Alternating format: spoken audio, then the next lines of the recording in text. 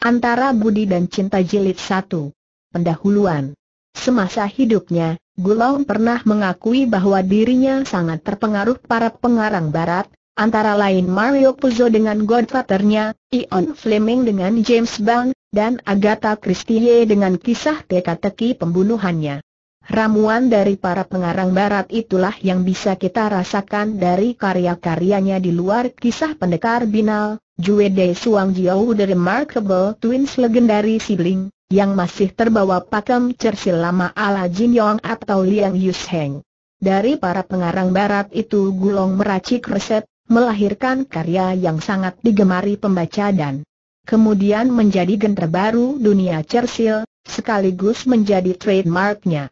Meteor, Butterfly, Sword, Liu Xing Udai Jian, 1973, merupakan salah satu karya Master Pie Gulong, yang juga telah membawa ketenaran dirinya di kalangan elit perfilman Hong Kong.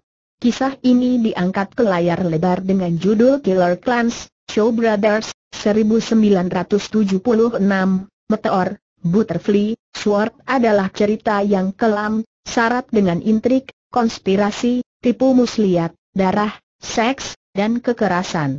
Di sini Gulong sangat terpengaruh oleh gambaran seorang Godfather ala Mario Puzo. Konon, mantan Presiden Soeharto, Alem, sangat menyukai kisah ini dan menonton filmnya berkali-kali. Para tokoh kisah ini akan melibatkan banyak tokoh. Sulit membedakan mana kawan mana lawan. Untuk memudahkan pembaca, berikut ini diberikan daftar para tokoh yang akan diupdate sesuai kemunculan pada setiap babnya. Meng Sin Hun pembunuh bayaran berdarah dingin yang mulai jenuh dengan profesinya. Pedangnya sangat mematikan. Gao Lao da kakak tertua. Di usia 13 ia telah membuat empat keajaiban. Ia menyelamatkan empat nyawa, Ye Xiang, Sikun, Xiaohi, dan Meng Xin Hun. Ye Xiang. Pembunuh bayaran yang sudah tiga kali gagal dan kini hanya bisa bermabukan. Ia sangat mengkhawatirkan nasib Meng Xin Hun. San Ye Bo ia senang membantu orang, dan orang-orang memanggilnya Paman Bu. Ia bangga dan senang membantu seperti ia menyukai bunga-bunga yang bermekaran. Hanteng ia galak tapi sopan, matanya selalu memancar dingin. Tidak ada yang mau berteman dengannya. Ia sendiri tidak mau dekat dengan orang lain. Ia sudah melakukan sesuatu yang tidak pernah dilakukan orang, juga tidak akan ada orang lagi yang akan melakukannya. Sanjian anak San Yeubo. Seperti ayahnya, ia juga senang menolong. Sifat Sanjian sangat keras seperti bara, bangasan, setiap saat dapat meledak. Sifat seperti ini sering membuatnya salah langkah. Karena itu juga ia sering kehilangan teman. Lux yang cuan tangan kanan San Ubo, sekaligus sudah dianggap anak sendiri. Ia tidak memerlukan senjata karena senjatanya adalah senjata rahasia. Ia terlihat sangat terpelajar, terkadang musuh meremehkannya, menganggap ia tidak bisa apa-apa. Ini adalah kesalahan sepele yang bisa berakibat fatal. Lan penguang musuh terbesar dan terkuat San Yeubo. Sebelum berumur 17, tidak ada yang tahu asalnya. Sesudah berumur 17, ia sudah bekerja pada sebuah perusahaan. Setengah tahun kemudian, ia sudah naik jabatan. Pada umur 19, ia membunuh bos perusahaannya dan menjadi bos perusahaan itu. Setahun kemudian ia menjual perusahaan dan menjadi seorang polisi. Dalam tiga tahun, ia menangkap dan membunuh sejumlah penjahat. Semenjak itu, ia punya 21 pembantu yang sangat setia padanya. Waktu berumur 24, ia keluar dari kepolisian dan mendirikan perkumpulan Dapeng. Mula-mula hanya memimpin seratus orang, tapi sekarang anak buahnya sudah mencapai puluhan ribu orang. Kekayaannya sudah tidak terhitung lagi. Bab satu meskipun cahaya meteor hanya singkat, tak satu pun isi semesta yang mampu menandingi pendar gemilangnya. Manakala meteor muncul ke permukaan, bahkan bintang abadi yang paling terang pun tak mampu menandinginya. Nyawa seekor kupu-kupu begitu rapuh, lebih lemah dari bunga yang berwarna-warni. Tapi kupu-kupu selalu hidup di musim semi. Dia indah dan terbang dengan bebas. Walaupun nyawanya pendek tetapi dia harum. Hanya pedang yang abadi. Nyawa dan masa jaya seorang pendekar pedang selalu terletak pada pedang yang dipegangnya. Bila sebuah pedang mempunyai perasaan, apakah dia akan mempunyai nyawa yang pendek sama seperti sebuah meteor? Ketika sebuah meteor jatuh, dia sedang berbaring di atas sebuah batu hijau. Dia senang berjudi dan minum arak. Dia pun senang main perempuan. Dalam kehidupannya selama ini dia sudah mencicipi banyak perempuan. Dia juga pernah membunuh orang. Namun apabila meteor muncul, dia sangat jarang melewati kesempatan ini karena dia selalu berbaring di tempat itu menunggu munculnya meteor. Dia bisa merasakan terangnya cahaya meteor, sebab itu adalah salah satu kenikmatan dunia. Dia tidak mau melewati kesempatan ini, karena dalam kehidupannya dia tidak mempunyai kesenangan yang lain. Dulu dia pernah mempunyai keinginan menangkap sebuah meteor, namun sekarang hayalannya sudah tidak banyak lagi malah hampir tidak ada. Bagi orang semacamnya, berhayal merupakan suatu perbuatan yang lucu dan memalukan. Di sini adalah tempat yang paling dekat dengan jatuhnya meteor. Sebuah rumah kayu yang terletak di kaki gunung, lampunya masih menyala. Pada saat angin berhembus, Kadang-kadang terdengar suara tawa dan suara orang bersulang terbawa oleh angin naik ke atas gunung. Itu adalah rumah kayunya, araknya dan juga perempuannya. Namun dia lebih suka berbaring di tempat ini dan lebih senang menyendiri. Cahaya meteor sudah menghilang, air di pinggiran batu sedang mengalir pelan. Waktu untuk bersenang-senang sudah lewat. Sekarang dia harus kembali dingin dan menjadi tenang, benar-benar tenang dan dingin. Sebab sebelum membunuh, seseorang harus tenang dan dingin. Sekarang dia harus membunuh orang, sebenarnya dia tidak suka membunuh setiap kali saat pedangnya menusuk jantung orang dan darah mengalir hingga ke ujung pedang kemudian menetes ke bawah, dia malah tidak dapat menikmati keadaan itu. Dia hanya merasa sedih. Walaupun dia sangat sedih, dia berusaha menahannya. Dia harus membunuh orang, bila tidak membunuh orang dia yang akan mati. Kadang-kadang orang hidup bukan untuk menikmati kesenangan namun untuk menahan kesedihan karena hidup adalah sebuah tanggung jawab. Siapa pun tidak ada yang bisa lari dari tanggung jawab itu. Dia mulai mengenang saat pertama kali membunuh orang. Luoyang adalah sebuah kota yang sangat besar.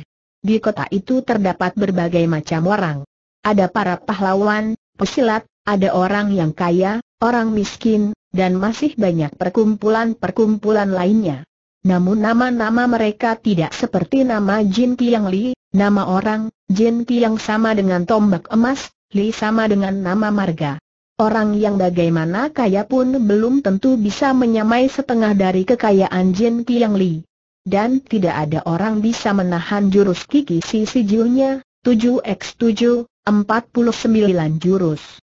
Orang yang pertama kali dibunuh olehnya adalah Jin Kiang Li. Harta dan nama tenar Jin Kiang Li bukan didapat dari langit, karena itu musuhnya sangat banyak hingga dia sendiri pun tidak dapat mengingatnya. Namun tidak ada seorang pun yang berani mencoba membunuhnya dan yang ingin membunuh pun tidak ada yang berani. Anak buah Jin Kiang Li sangat tangguh, kungfu mereka dapat dikatakan sangat terkenal di dunia persilatan. Dan terdapat juga dua orang dengan badan seperti raksasa selalu menggotong Jin yang si tombak emas. Dia selalu dikelilingi oleh pengawal yang hebat. Tubuhnya dibungkus oleh pakaian yang kebal terhadap pedang dan tombak sehingga orang susah membunuhnya karena itu dia benar-benar sangat sulit didekati.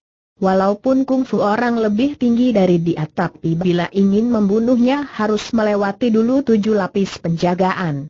Bila ingin masuk ke rumahnya harus melewati dulu anak buahnya yang memiliki kungfu tinggi, dan sekali menyerang harus mengarah pada tenggorokan Jin Tiang Li, dan harus sekaligus membunuh karena bila meleset kau tidak mempunyai kesempatan untuk membunuh lagi.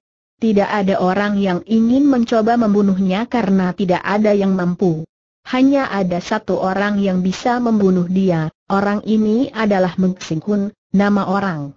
Dia menghabiskan waktu setengah bulan untuk menyelidiki kehidupan Jin Kiang Li, Semua gerak-geriknya pun diamati, dia menghabiskan waktu satu bulan untuk memasuki rumah Jin Kiang Li, menyamar sebagai tukang pikul air di dapur Jin Kiang Li. Dia menghabiskan waktu setengah bulan menunggu waktu yang tepat. Semua hal terlihat seperti mudah tapi menunggu waktu yang tepat benar-benar tidak mudah. Karena Jin Kiang Li layaknya seorang perawan yang dingin, tidak memberi kesempatan untuk berdekatan. Saat mandi atau ke kamar kecil pun selalu ada yang mengawalnya. Namun bila sabar menunggu kesempatan itu pasti datang. Bahkan seorang perawan pun bila tiba waktunya dia akan menjadi seorang istri dan ibu.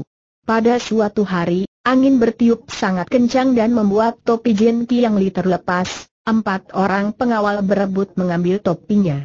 Pandangan Jin Kiang Li mengikuti ke mana topi itu diterbangkan angin. Pada saat tidak ada orang yang memperhatikan dan kesempatan yang sempit. Karena kecerobohan para pengawal itu mereka meninggalkan majikannya begitu saja karena menganggap tidak ada yang perlu dikhawatirkan. Pada saat itulah Meng Sin Hun sudah ada di belakang Jin Kiang Li dan langsung menusuknya. Hanya satu kali tusuk langsung menusuk dari belakang leher dan keluar di tenggorokan kemudian pedang dicabut, Segera darah berceceran dan berhamburan seperti kabut. Kabut darah menutupi pandangan setiap orang. Kilauan pedang mengejutkan jiwa setiap orang. Begitu kabut darah menghilang, Meng Siang Hun sudah jauh dari mereka tidak ada orang bisa melukiskan kecepatan tangan dan pedangnya.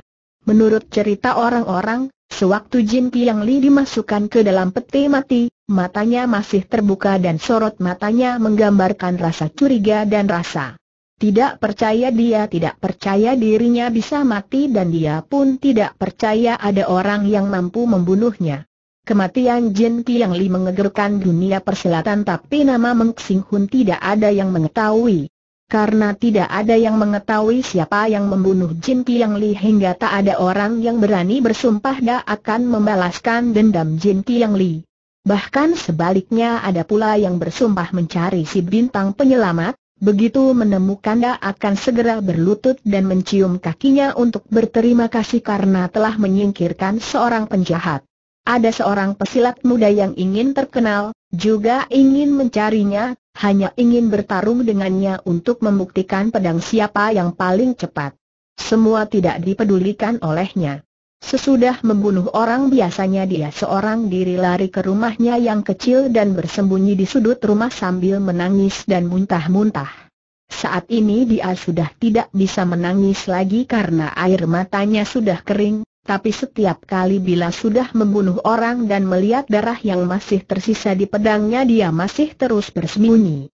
Sebelum membunuh orang dia tampak dingin dan tenang. Namun setelah membunuh orang dia tidak dapat menahan diri lagi. Dia harus berjudi, minum arak hingga mabuk, kemudian mencari perempuan yang cantik untuk melupakan kejadian saat dia membunuh orang. Tapi dia selalu sulit melupakannya dan terus terbayang-bayang. Karena itu dia harus terus-menerus berjudi, minum arak, dan mencari perempuan hingga dia membunuh orang lagi. Waktu itu dia melarikan diri ke gunung kemudian berbaring di sebuah batu hijau, dia tidak mau memikirkan apa-apa, dia tidak dapat berpikir dan tidak mau berpikir. Dia hanya memaksakan diri supaya tenang dan siap untuk membunuh yang lain. Orang yang akan dia bunuh tidak dia kenal juga tidak ada dendam antara mereka, bahkan kadang-kadang belum pernah bertemu. Orang ini hidup atau mati tidak ada hubungan dengannya. Namun dia tetap harus membunuh orang itu. Dia harus membunuh orang itu karena diperintah oleh Gao Laoda, kakak Gao. Pertama kali dia bertemu dengan Gao Laoda, umurnya baru enam tahun, waktu itu dia sudah tiga hari tidak makan. Rasa lapar untuk anak berumur enam tahun lebih menyeramkan daripada kematian. Dia lapar hingga pingsan di tengah jalan, apa pun dia tidak ingat lagi. Anak berumur enam tahun sudah merasakan bagaimana artinya sebuah kematian, karena waktu itu dia merasa benar-benar sudah mati. Mungkin lebih baik dia mati saat itu. Akhirnya dia tidak mati karena ada sepasang tangan yang menolongnya dengan memberikan bakpao setengah dari miliknya. Tangan Gao Laoda, bakpao yang dingin dan keras. Begitu dia menerima sepotong bakpao, air mata seperti matu air yang mengalir di musim semi. Air matanya membasahi bakpao itu, selamanya dia tidak akan melupakan rasa air matu yang asin dan pahit bercampur dengan rasa bakpao yang dingin. Dia pun tidak akan melupakan tangan Gao Laoda. Saat sepasang tangan itu bukan memberikan bakpao dingin lagi melainkan uang dan emas. Berapapun yang diminta oleh Meng Sing Hun, Gao Laoda pasti akan memberikannya. Kadang-kadang sepasang tangan itu memberikan secari kertas kecil. Di atas kertas itu hanya tertulis nama orang, tempat dan waktu. Kertas itu adalah sebuah surat tagihan nyawa. Suzhou, nama kota, San Yeubo, nama orang, Empat bulan. Empat bulan artinya dalam waktu empat bulan San Yun Bo harus mati di tangan Meng Xing Hun. Semenjak Meng Xing Hun membunuh Jin Kiang Li, dia tidak perlu menghabiskan waktu tiga bulan untuk membunuh orang. Waktu dia membunuh pesilat ternama, dia hanya menghabiskan waktu 41 hari. Ini bukan berarti pedangnya cepat, tapi karena hatinya dingin dan tangannya lebih dingin lagi. Dia tahu dia tidak perlu menghabiskan waktu selama tiga bulan untuk membunuh orang, bahkan Gao Laoda pun mengetahuinya. Namun sekarang waktu yang tersedia adalah empat bulan. Ini artinya San Yeu Bo adalah orang yang hebat, tentu membunuh orang ini sangat sulit. Nama San Yeu Bo bagi Meng Xing Hun tidak begitu asing lagi, sebenarnya orang di dunia persilatan banyak yang mengetahui nama San Yeu Bo. Bagi orang yang tidak mengetahui nama San Yeubo layaknya pengikut Buddha yang tidak mengetahui Dewa Rulai, nama Dewa. Di dalam pandangan mati orang-orang dunia persilatan, San Yeubo adalah Dewa Rulai, juga adalah seorang Dewa. Kematian dalam wujud manusia. Bila dia sedang baik, dia bisa berada di sisi seorang anak yang tidak dia kenal, bercerita selama tiga hari pukul tiga malam. Namun pada saat dia marah dalam tiga hari dia mampu meratakan sebuah gunung. Nama yang terkenal itu di dalam hati Meng Xin Hun sudah tidak ada artinya, nama orang itu baginya adalah harus mati. Terbayang oleh Meng Xin Hun saat pedangnya menusuk jantung San Yeubo dan dia pun membayangkan pedang San Yeubo menusuk jantungnya. Bila bukan San Yeubo yang mati maka dia yang akan mati. Sudah tidak ada pilihan lagi baginya. Siapa yang akan mati, dia sudah tidak peduli. Di ufuk timur cahaya matahari semakin terang.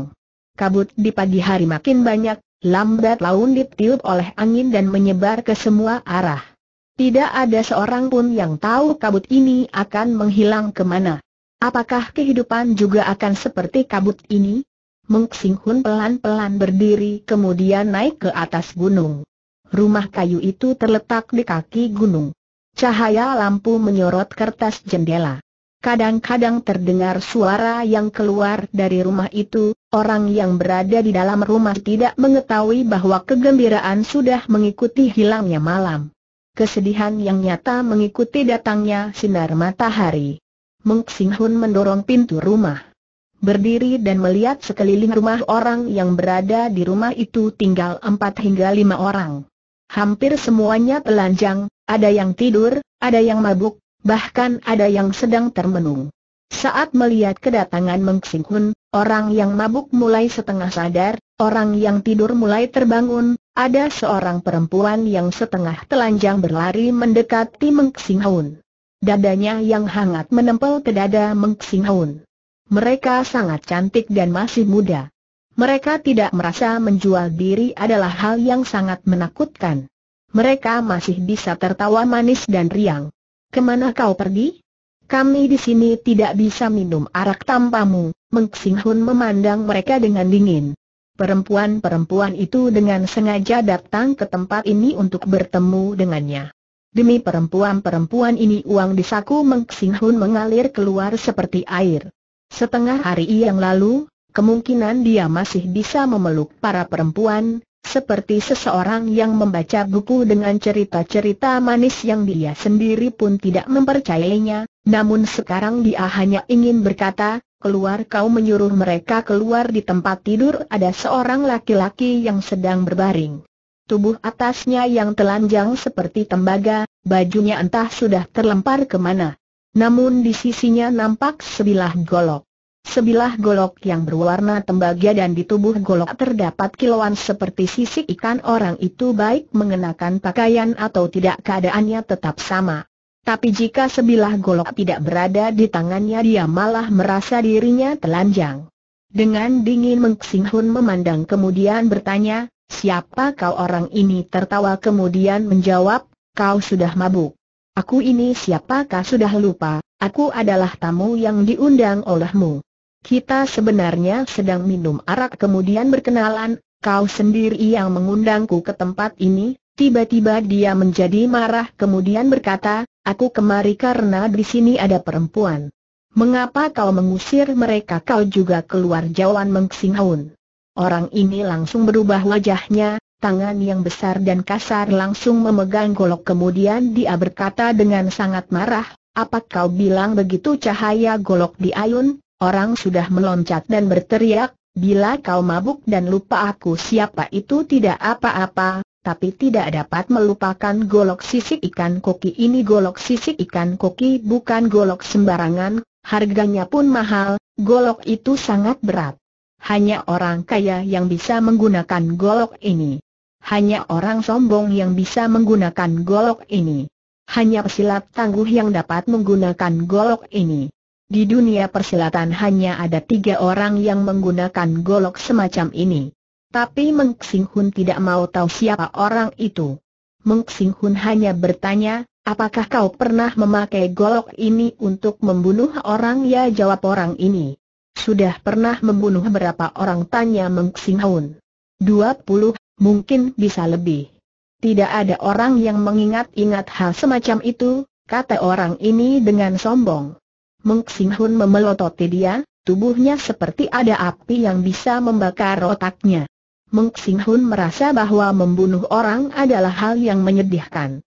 Dia tidak mengerti mengapa di dunia ada orang yang sudah membunuh orang masih bisa merasa senang dan sombong. Dia sangat benci orang semacam ini, seperti dia membenci seekor ular beracun. Wajah yang seperti tembaga itu tertawa dingin dan berkata, hari ini aku sedang tidak ingin membunuh orang, apalagi tadi aku sudah minum arak dan main-main dengan perempuanmu, Meng Hun langsung meloncat ke hadapan orang itu. Begitu orang sadar bahwa Meng Hun sudah ada di depannya, kepalan tangan yang keras dan dingin sudah memukul wajahnya. Dia merasa langit runtuh dan tanah terbelah. Dia tidak merasakan lagi pukulan kedua. Hingga rasa sakit dan takut pun tidak dapat dia rasakan. Setelah lama dia baru merasakan ada angin dingin menerpa wajahnya. Angin ini terasa seperti jarum menusuk hilang dan otaknya. Dia tidak sengaja meraba mulutnya dan mulutnya terasa lembut seperti sepotong daging, tidak terasa bentuk bibir dan tidak ada gigi, serta tidak ada hidung. Sekarang dia baru merasa takut, rasa takut ini keluar dari hatinya yang paling dalam. Kemudian dia berteriak. Teriakannya seperti seekor binatang yang digorok oleh seorang pemburu.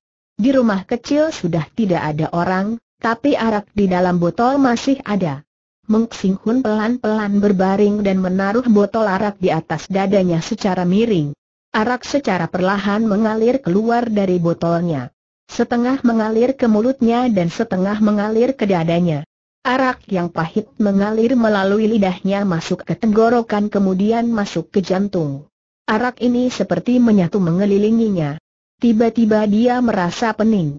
Biasanya sebelum membunuh orang, Meng Sin Hun selalu dalam keadaan tenang tidak pernah minum arak. Namun kali ini tidak sama, dia merasa tidak boleh membunuh orang itu dan dia tidak ingin membunuh.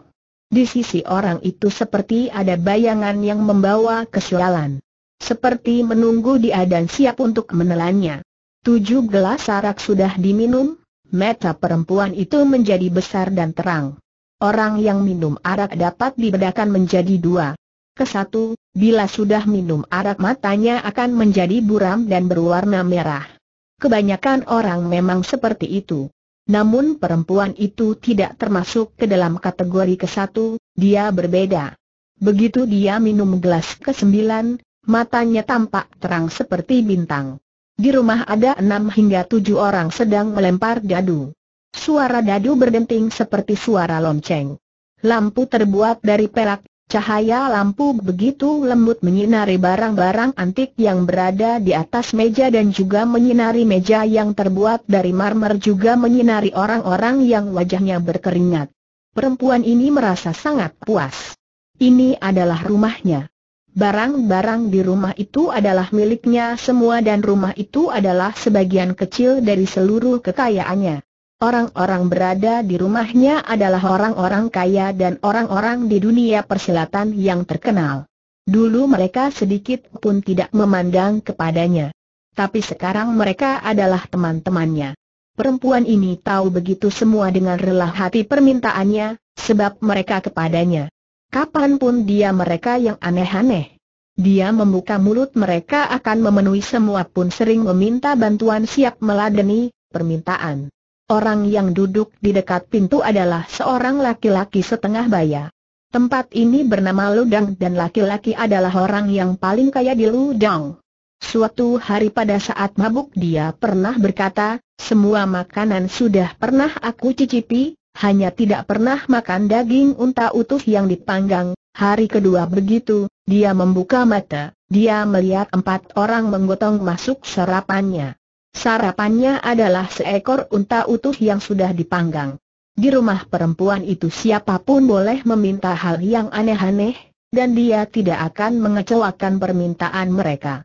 Sepuluh tahun yang lalu, perempuan itu sama sekali tidak memiliki apa-apa. Pakaian yang utuh pun tidak dia miliki, dia membiarkan mata-mata liar laki-laki melihat bayangan tubuhnya yang tidak tertutup. Waktu itu, siapa pun yang memberikan dia baju, orang itu akan mendapatkan semua miliknya yang berharga. Namun sekarang dia sudah memiliki semuanya. Bila mata perempuan itu semakin terang artinya dia sudah minum banyak arak. Bila suara dadu terus berdenting, barang taruhan pun semakin banyak. Melihat wajah orang-orang itu dia merasa ada sesuatu yang lucu. Laki-laki yang biasanya terlihat sangat sopan begitu mereka berjudi dan melihat perempuan, mereka seperti segerombol anjing dari segerombol babi. Dia sebenarnya ingin muntah. Tiba-tiba ada yang berteriak, kali ini aku yang jadi bandar, apakah Lao Paniang, Nyonya Bos, mau ikut bertaruh perempuan itu menghampiri orang ini dan menaruh selembar kertas cek, yang menjadi bandar adalah orang kaya, biasanya dia selalu memamerkan tubuhnya yang tinggi dan besar di depan para perempuan. Dan juga sering memamerkan cincin gioknya yang mahal. Dia melakukan semua itu ingin membuktikan bahwa dirinya adalah seorang yang kaya dengan tubuh yang kekar. Perempuan ini menggodanya. Tahu bahwa laki-laki itu sedang. Bandar melempar dadu dan angka yang keluar adalah angka 11 kemudian dia tertawa hingga terlihat giginya seperti gigi anjing lapar berwarna kuning dan hitam. Perempuan ini mengambil dadu kemudian melemparnya dan angka yang keluar adalah angka 4 merah. Walaupun bandar ini tertawa dengan terpaksa, dia masih berusaha untuk tertawa. Tapi begitu dia melihat kertas cek yang tertulis angka 50 ribu, Wajah laki-laki itu segera berubah menjadi lebih hitam dan lebih kuning daripada warna giginya. Perempuan ini tertawa dan berkata, ini hanyalah sebuah permainan, tidak perlu terlalu serius.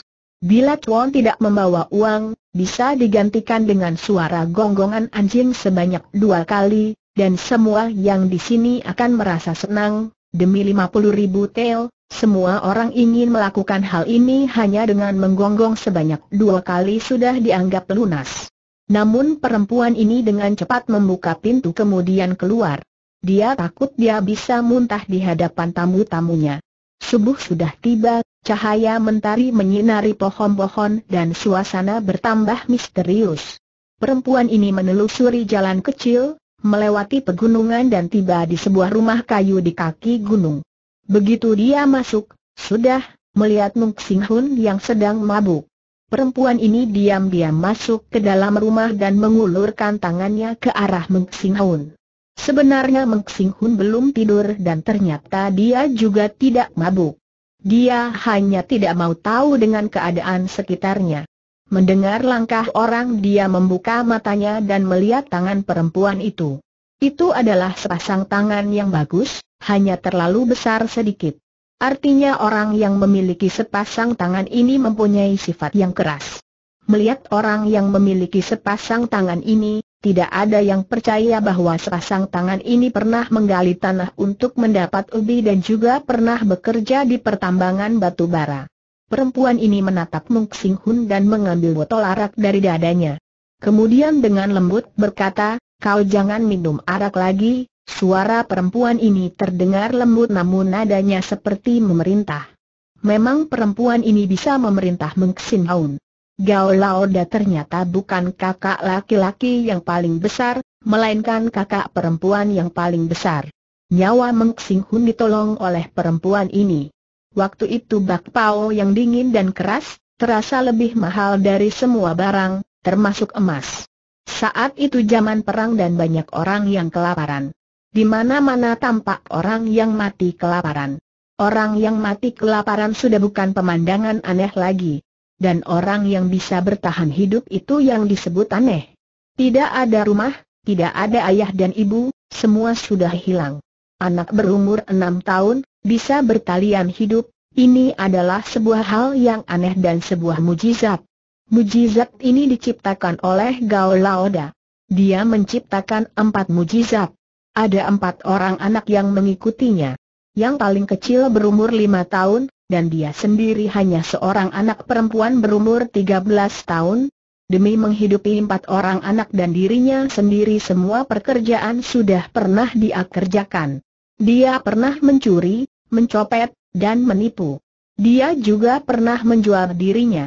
Saat dia berumur 14 tahun, keperawanannya ditukar oleh dua kati daging kepada seorang tukang daging. Dia tidak pernah lupa wajah si tukang daging. 15 tahun kemudian dia mencari si tukang daging dan dia menghunus sebuah pedang panjang yang dimasukkan ke mulutnya.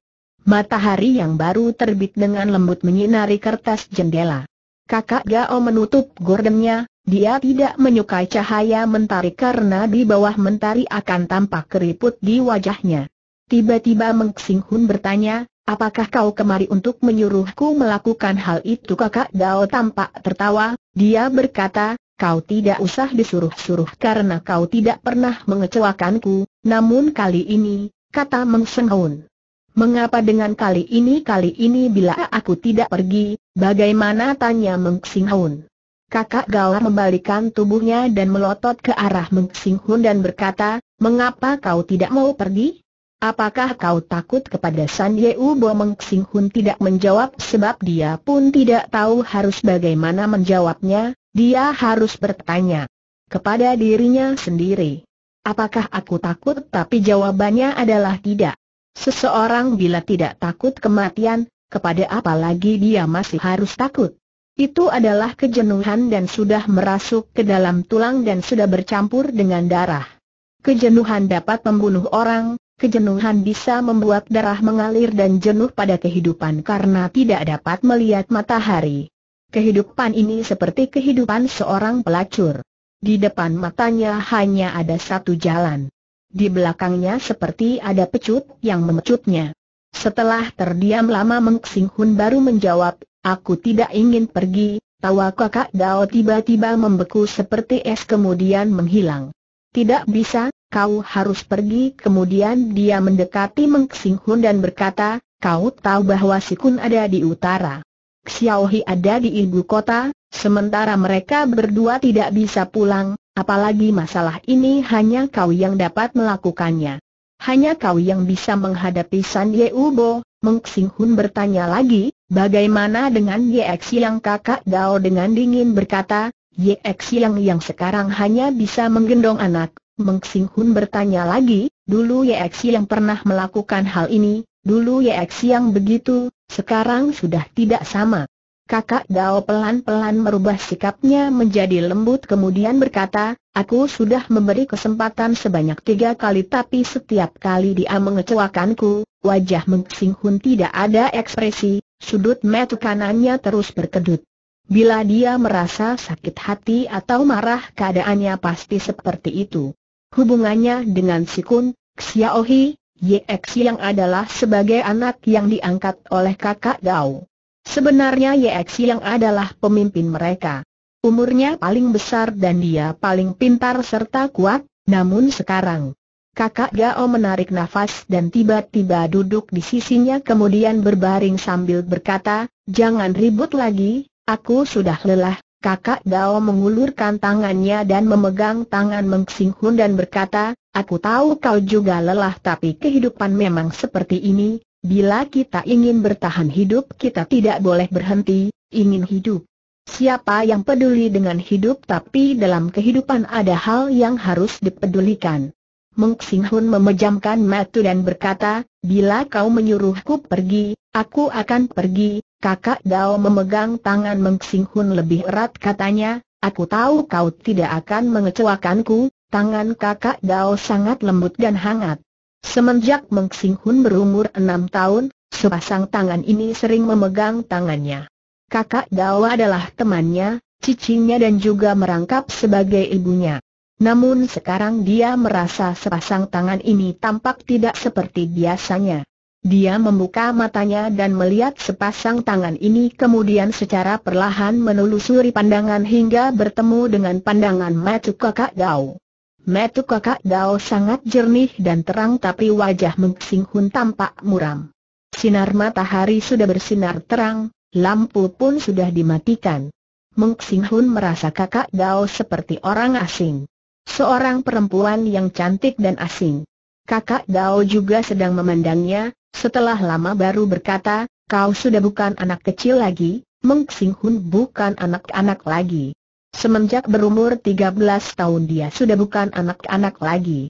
Aku tahu kau sering mencari perempuan, kata kakak Gao. Benar, banyak sekali, apakah kau pernah menyukai mereka? Tidak pernah, jawab Meng Sing Hun. Bila kau tidak menyukai mereka, artinya mereka tidak dapat memuaskanmu. Bila seseorang selalu merasa tidak puas, lama-lama dia akan merasa jenuh. Kakak Gao tertawa begitu lembut dan begitu feminin dan berkata, mungkin kau tidak mengerti perasaan seorang perempuan, tidak tahu bahwa seorang perempuan bisa mendukung dan memotivasi. Meng Sing Hun tidak bicara tapi terus memandang kakak Gao. Kakak Gao berdiri pelan-pelan, gerakannya sangat lembut dan indah, tangannya diletakkan di bagian kacing kemudian membukanya satu per satu. Dia tidak seperti seorang perempuan yang hilang masa remajanya. Berdiri di bawah sinar matahari pagi, kakak Gao seperti Dewi di musim semi. Kakak Gao sedang memandangnya. Nafasnya terdengar lembut seperti angin musim semi. Membawa harum membuat orang mabuk kepayang. Kemungkinan kakak Dao jadi mabuk dan araknya sudah berubah menjadi manis dan wangi. Walaupun masa remajanya sudah hilang, namun dia tetap seorang perempuan yang tidak dapat ditolak. Meng Sing Hun berlari kencang dalam angin pagi seperti seekor binatang yang terkena panah. Dia berlari dan air matanya terus mengalir. Dia ingin, dia mau, tapi dia tidak bisa menerimanya. Saat berumur 13 tahun, saat itu mereka masih berkelana dan ada suatu hari mereka tidur di sebuah gudang milik orang lain. Saat itu musim panas, di gudang terasa panas dan pengap. Karena panas tengah malam dia terbangun, tidak sengaja melihat kakak Gao sedang mandi di pojok gudang. Sinar bulan masuk dari jendela kecil, menyinari tubuhnya yang telanjang dan molek. Waktu itu Meng Sing Hun merasa di perutnya ada bara. Dia memejamkan mata, tapi keringat sudah membasahi pakaiannya. Mulai saat itu dia selalu memikirkan kakak Gao, memikirkan tubuhnya yang molek. Setiap kali sesudah memikirkan hal itu dia selalu merasa berdosa, dan melarang dirinya untuk tidak memikirkan hal itu lagi. Hingga dia menyimpan sebuah jarum, setiap kali bila ingat hal itu dia akan menusuk kakinya dengan jarum itu. Umurnya semakin bertambah, bekas tusukan jarum di kakinya pun semakin banyak. Hingga akhirnya dia benar-benar mempunyai perempuan tapi kalau dia memejamkan mata, dia menganggap perempuan itu adalah kakak Gao. Dia tidak menyangka suatu hari dia benar-benar mendapatkan kakak Gao. Dia ingin, dia mau, tapi bagaimanapun dia tidak bisa menerimanya. Sewaktu Meng lari keluar dari rumah, kayu itu, ekspresi wajah kakak Gao seperti ditampar orang. Bagi seorang perempuan, ini merupakan penghinaan paling besar. Meng Sing Hun mengetahui perasaan kakak Gao tapi dia tetap harus menolaknya. Kakak Gao baginya adalah kakak perempuannya, ibunya, dan temannya.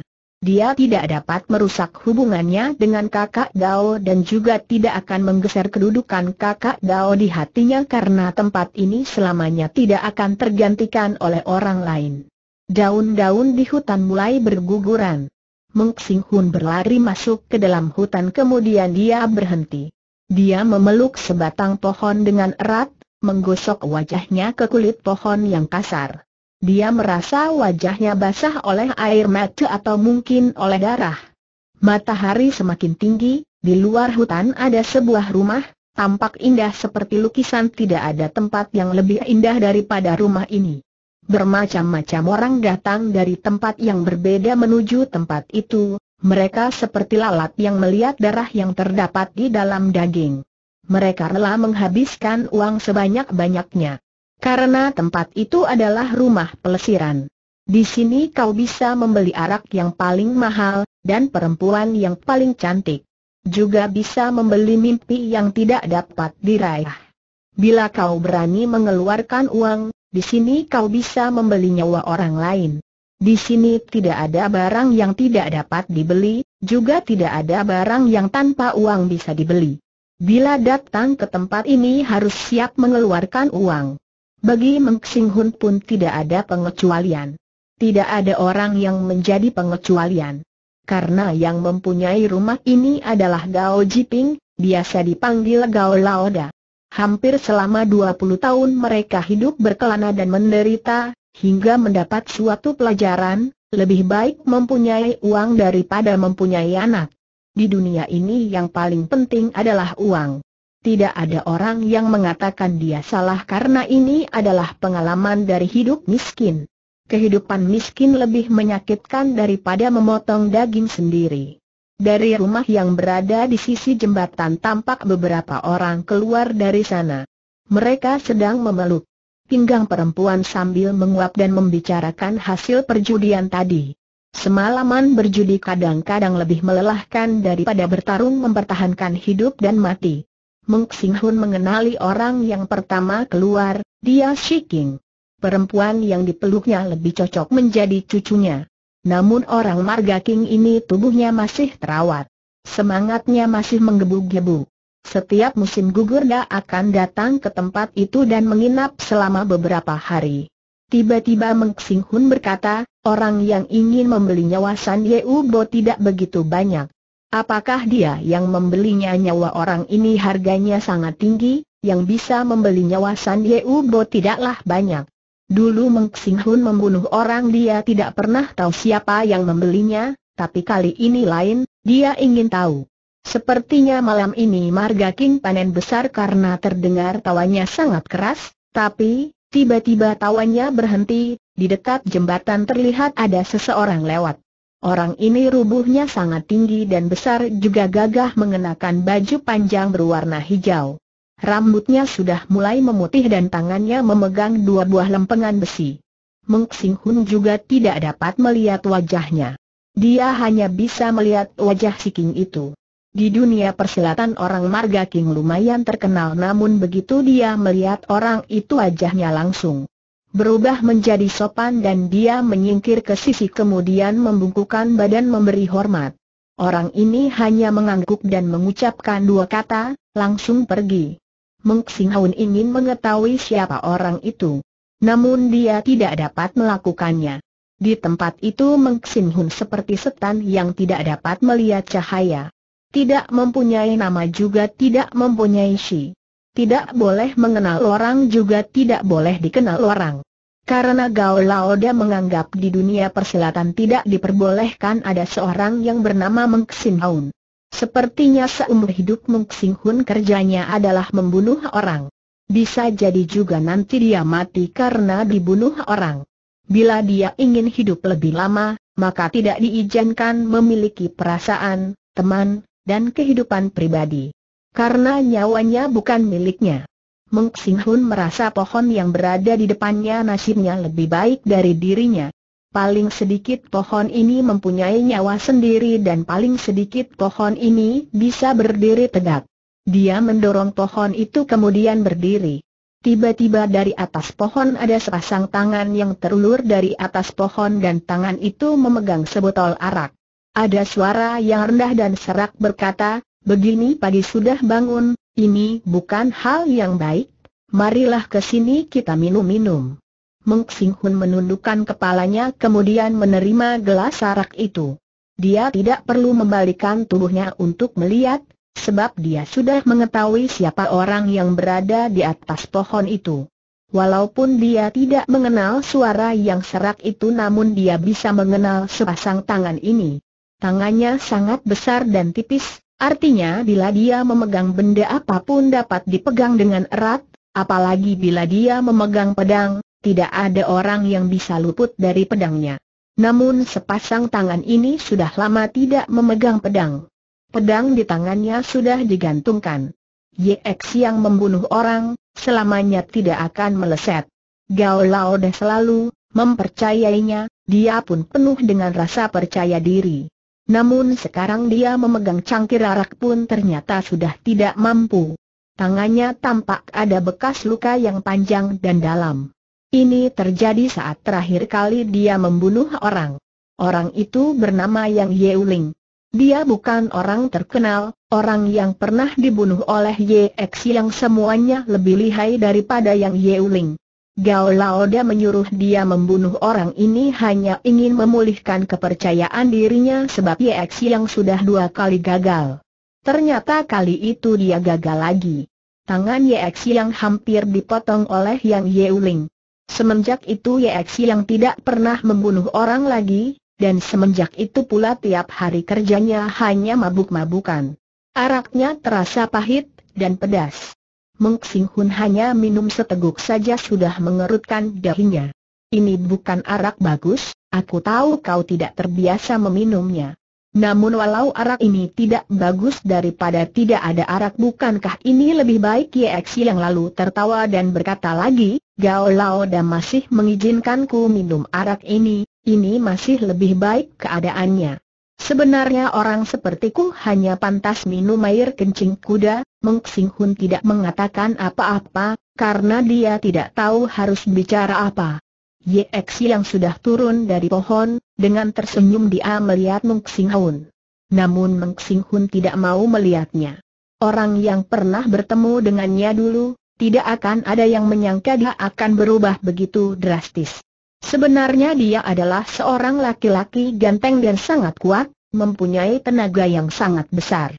Juga mempunyai wibawa yang tinggi seperti pedang yang sudah dia hingga mengkilat. Tapi sekarang pedangnya sudah berkarat, wajahnya yang ganteng semakin kuyu, matanya pun sudah tidak bersinar lagi. Perutnya mulai membuncit, suaranya pun sudah berubah menjadi serak. Dia menenggak arak lagi kemudian menarik nafas. Sekarang kesempatan kita bertemu semakin sedikit. Aku tidak menyalahkanmu. Biarpun kau menghina diriku, itu memang pantas untukku. Bila tidak ada dirimu aku sudah mati di tangan Yang Yeuling. Terakhir kali saat Gao Laoda menyuruh Yex yang membunuh orang, dia sudah tidak merasa yakin karena itu dia menyuruh Meng Sing Hun menguntit di belakang. Mulai saat itu Meng Sing Hun sudah mengganti posisinya. Yex yang tertawa dan berkata, sebenarnya hari itu aku sudah tahu kau mengikutiku di belakang, karena itu aku, Meng Sing Hun memotong kata-kata Yex yang kemudian dia berbicara, kali ini sebenarnya aku tidak perlu pergi, mengapa tanya Yex yang? Kau tahu Gao Laoda menyuruhku mengikutimu, sebab dia mengkhawatirkanmu dan karena itu kau menjadi tidak percaya diri. Bila aku tidak pergi kau pasti bisa membunuh Yang Yeuling. Yex yang tertawa sedih dan berkata, kau salah. Saat aku membunuh Lei Laosan, Aku sudah tahu bahwa selamanya aku sudah tidak akan bisa membunuh orang lagi, saat itu dia gagal membunuh Lei Laosan, itu adalah kegagalan pertama kali yang dialalaikan. Kata Meng Xing Hun, Lei Laosan adalah seorang tengkulak, biasanya kau paling benci orang semacam ini. Aku merasa aneh mengapa saat itu kau tidak mampu membunuhnya Ye X yang tertawa kecut. Aku pun tidak tahu apa sebabnya, Aku hanya merasa sangat lelah. Saking lelahnya. Hingga aku tidak mau melakukan apa pun. Kemungkinan kau tidak mengerti perasaan itu, lelah, kata itu seperti jarum. Sudut Matt Meng Hun tampak berkedut lagi, setelah lama dia berkata, aku mengerti, kau mengerti apa tanya Ye X Yang. Aku sudah membunuh sebelas orang, setelah lama. Ye X Yang baru bertanya lagi, Kau tahu aku sudah membunuh berapa banyak orang Meng Hun tidak tahu, kecuali Gao Laoda tidak ada lagi yang tahu. Setiap kali melaksanakan tugas itu adalah sebuah misi rahasia, tidak boleh dikatakan kepada orang lain. Aku sudah membunuh sebanyak 30 orang, tidak lebih tidak kurang, tepat 30 orang, kata Ye Xiang. Tangannya gemetaran, dia segera menenggak arak dan langsung menelannya. Dengan suara pelan dia berkata lagi, kau juga akan membunuh orang dalam jumlah yang banyak mungkin bisa lebih dari 30 orang. Bila kau tidak membunuh kau akan menyerupai diriku yang sekarang, lambung Meng terasa keram, dia ingin muntah. YX yang adalah cerminan dirinya. Dari diri YX yang, Meng Hun dapat melihat keadaan dirinya.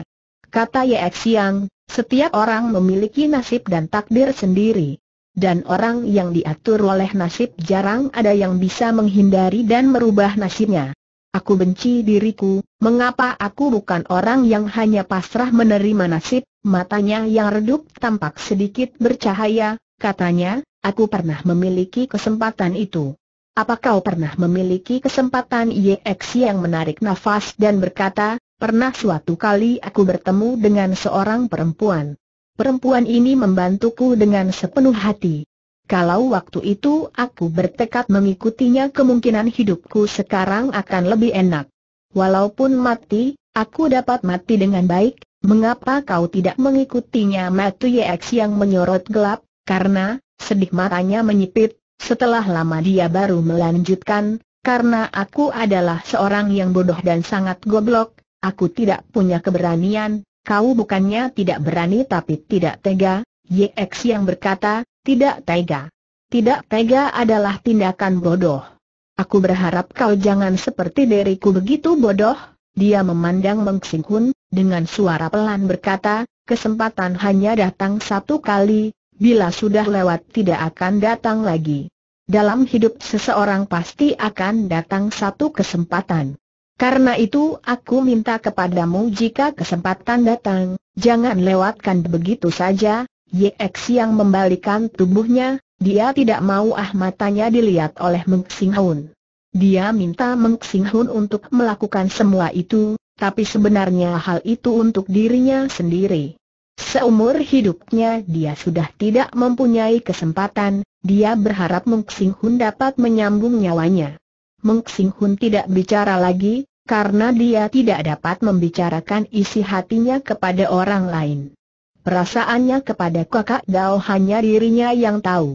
Demi kakak Gao dia rela mati. YX yang bertanya lagi, apakah kau akan membunuh orang lagi Meng Xing Hun mengangguk.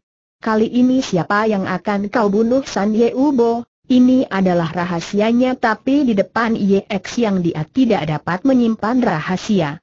Dia melihat Metu YX yang menyipit lagi, setelah lama YX yang baru bertanya, apakah San Ye Ubo yang dimaksud adalah San Ye Ubo yang tinggal di Jiangnan apakah kau mengenalnya? Tanya Meng Xing Hun. Aku pernah bertemu dengannya, dia seperti apa orangnya dia orang seperti apa, tidak ada yang mampu menjelaskannya. Aku hanya mengetahui satu hal saja, mengenai apa tanya Meng Xing Hun. Bila aku jadi kau, aku tidak akan mau membunuhnya. Meng Xing Hun terdiam lama setelah itu baru berkata, aku juga tahu sesuatu, apa yang kau ketahui? Meng Xing Hun menatap jauh kemudian berkata, aku harus membunuhnya. Sungguh tidak adil langit memperlakukan mereka. Mereka merasa sedih marah, namun tidak bisa berbuat apa-apa. Oh, oh, oh, oh, di dunia ini hal yang tidak adil sangatlah banyak.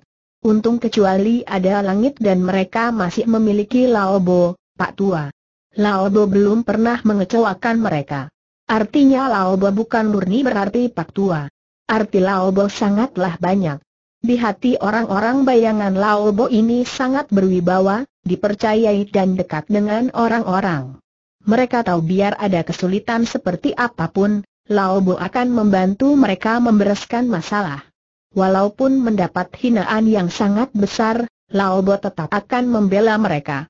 Mereka sangat menghormati, mempercayai, seperti seorang anak laki-laki mempercayai ayahnya sendiri. Dia membantu mereka, mencintai mereka, namun dia tidak pernah meminta apa pun kepada mereka. Bila Laobo membuka mulut, mereka akan dengan suka hati berkorban memenuhi permintaannya. Fang Yao Ping sewaktu pulang sudah mabuk seperti melayang-layang. Dia tidak ingat di mana dia minum arak, juga tidak tahu bagaimana dia bisa tiba di rumah. Bila dia tidak mabuk dia tidak akan pulang. Sebenarnya dia mempunyai keluarga yang hangat namun tujuh bulan yang lalu rumahnya berubah seperti neraka. Pelayan-pelayan sudah tidur, dia mencari arak yang tersisa setengah botol lagi. Dia belum mulai minum tapi malah muntah. Muntah di karpet buatan luar negeri.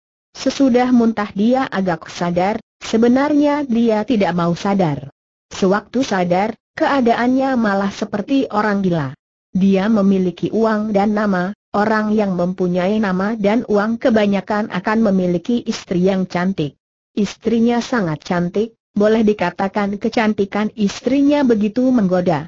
Dia tidak tahan bila laki-laki lain memandang istrinya dengan pandangan cabul. Dia ingin mencungkil mata laki-laki yang memandang istrinya dengan pandangan seperti itu. Namun istrinya suka dengan pandangan seperti itu. Dia suka bila laki-laki memujinya. Juga suka melihat ekspresi wajah mereka yang cabul itu. Di luar tampak wajah istrinya dingin seperti es tapi dia tahu di dalam hati istrinya sedang memikirkan naik ranjang bersama laki-laki lain. Dia pun tahu sebelum menikahinya, istrinya sudah sering main dengan laki-laki lain. Pada waktu hari pertama menikah, dia hampir mencekik istrinya tapi begitu melihat sepasang metu yang besar, lincah dan melihat mulutnya yang kecil, tangan yang terulur untuk mencekik tiba-tiba berubah menjadi pelukan. Dan dia menangis di dada istrinya. Dia tidak tahu bahwa istrinya entah sudah beberapa kali naik ranjang bersama laki-laki lain. Dia hanya tahu satu hal. Jika dia tidak ada di tempat tidur, istrinya pasti berada di tempat tidur laki-laki itu. Fang Yao Ping berlari masuk ke ruangan tamu dan mencari sebotol arak, dia berbaling di dekat pintu dan terus meneguk arak hingga dia mendengar suara di luar jendela. Suara baju yang diterpa angin. Z.H. King, istrinya, sebelum menikah dengannya adalah seorang penjahat perempuan yang sangat terkenal. Ilmu meringankan tubuhnya lebih lihai dari Fang Yao Ping. Sekarang dia tidak perlu mencuri lagi, tapi ilmu meringankan tubuhnya tetap berguna baginya. Kapan pun dia bisa keluar dari jendela kemudian pergi mencuri. Sekarang dia tidak mencuri barang, dia hanya mencuri laki-laki. Lilin hampir padam, namun masih ada sedikit cahaya. Tiba-tiba Z.H. King muncul, dan berdiri di hadapannya. Pandangannya tampak menghina. Wajah Z.H. King terlihat pucat namun bola matanya hitam. Penampilannya dingin tapi tampak anggun. Siapa pun tidak tahu dia keluar untuk melakukan apa. Kau tadi keluar untuk apa tanya Fang Yao Ping. Dia sebenarnya sudah tahu jawabannya tapi dia tetap bertanya. Z.H. King menjawab dengan nada sinis dan berkata dingin, mencari seseorang, mencari siapa ya, aku mencari Mao Wei. Di kota itu semua kenal dengan Mao Wei, sebab harta Mao Wei sangat banyak perempuan yang dipermainkan oleh Mao Mei tidak terhitung banyaknya. Dalam hitungan sepuluh orang, paling sedikit ada enam orang yang mengenakan pakaian yang dibeli di toko Mao Mei. Beras pun dibeli dari toko Mao Mei. Berjalan entah ke mana pun, tanah yang dipijak kemungkinan masih dimiliki oleh Maui, bila melihat ada seorang perempuan, kemungkinan perempuan ini sudah pernah dipermainkan oleh Maui. Di tempat itu walaupun kau melakukan hal apa pun pasti ada hubungannya dengan Maui. Wajah Fang Yaoping tampak marah dan berkata, untuk apa kau mencari Mao Wei? Kau ingin tahu aku mencari Mao Wei untuk melakukan apa? Matanya menyorotkan sinar yang menggoda, wajah ZH King yang pucat mulai memerah kemudian dia berkata, dia juga minum arak, tapi dia tidak seperti dirimu, meski dia sudah mabuk tapi masih bisa melakukannya. Tiba-tiba Fang Yaoping meloncat dan mencekik leher ZH King kemudian berteriak, Aku akan membunuhmu tiba-tiba ZH King tertawa cekikikan, bunuhlah bila kau mau. Bila kau berani memarahi Maui, aku baru kagum padamu. Fang Yao Ping tidak berani, dalam keadaan, mabuk pun dia tidak berani melakukannya.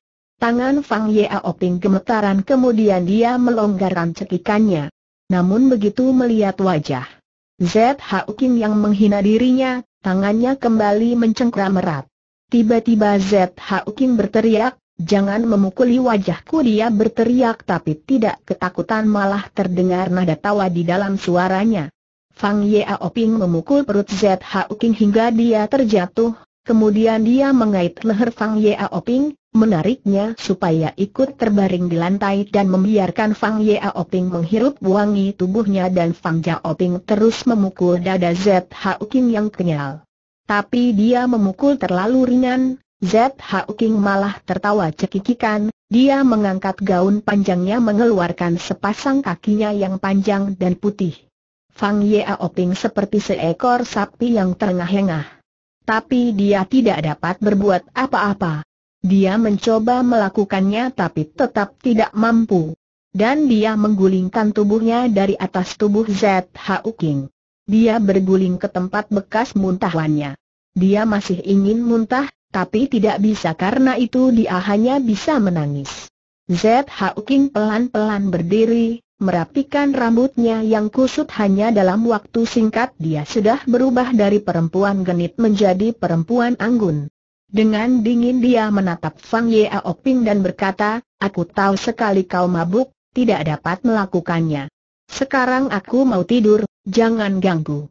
Aku harus tidur nyenyak supaya besok aku ada tenaga mencari Maui. Dia membalikan tubuh kemudian masuk ke kamar tidurnya dan sebelum masuk berkata, kecuali kau membunuh Maui, bila tidak tiap hari aku akan mencari dia. Dia mendengar suara pintu dikunci.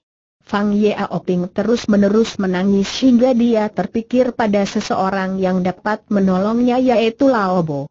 Begitu teringat pada orang itu, Hatinya terasa tenang karena dia tahu bahwa Lao Bo bisa membantunya membereskan masalah. Hanya dia tidak ada yang lain. Oh oh, oh, oh Zhang Lao Teo, Zhang tua, berdiri di dekat tempat tidur, melihat anak perempuannya yang cantik, air mata Zhang Lao Teo mengalir. Dia adalah seorang tua yang memiliki kehidupan yang susah. Seumur hidup membantu orang bekerja di sawah. Pada saat panen pun hasilnya adalah milik orang lain. Hanya anak perempuan satu-satunya yang bisa membahagiakannya. Anak perempuan ini adalah bagian dari jiwanya. Namun sekarang anak kesayangannya sudah dirusak oleh orang bejat. Semenjak pulang kemarin malam, anak perempuannya pingsan dan belum sadar sampai sekarang.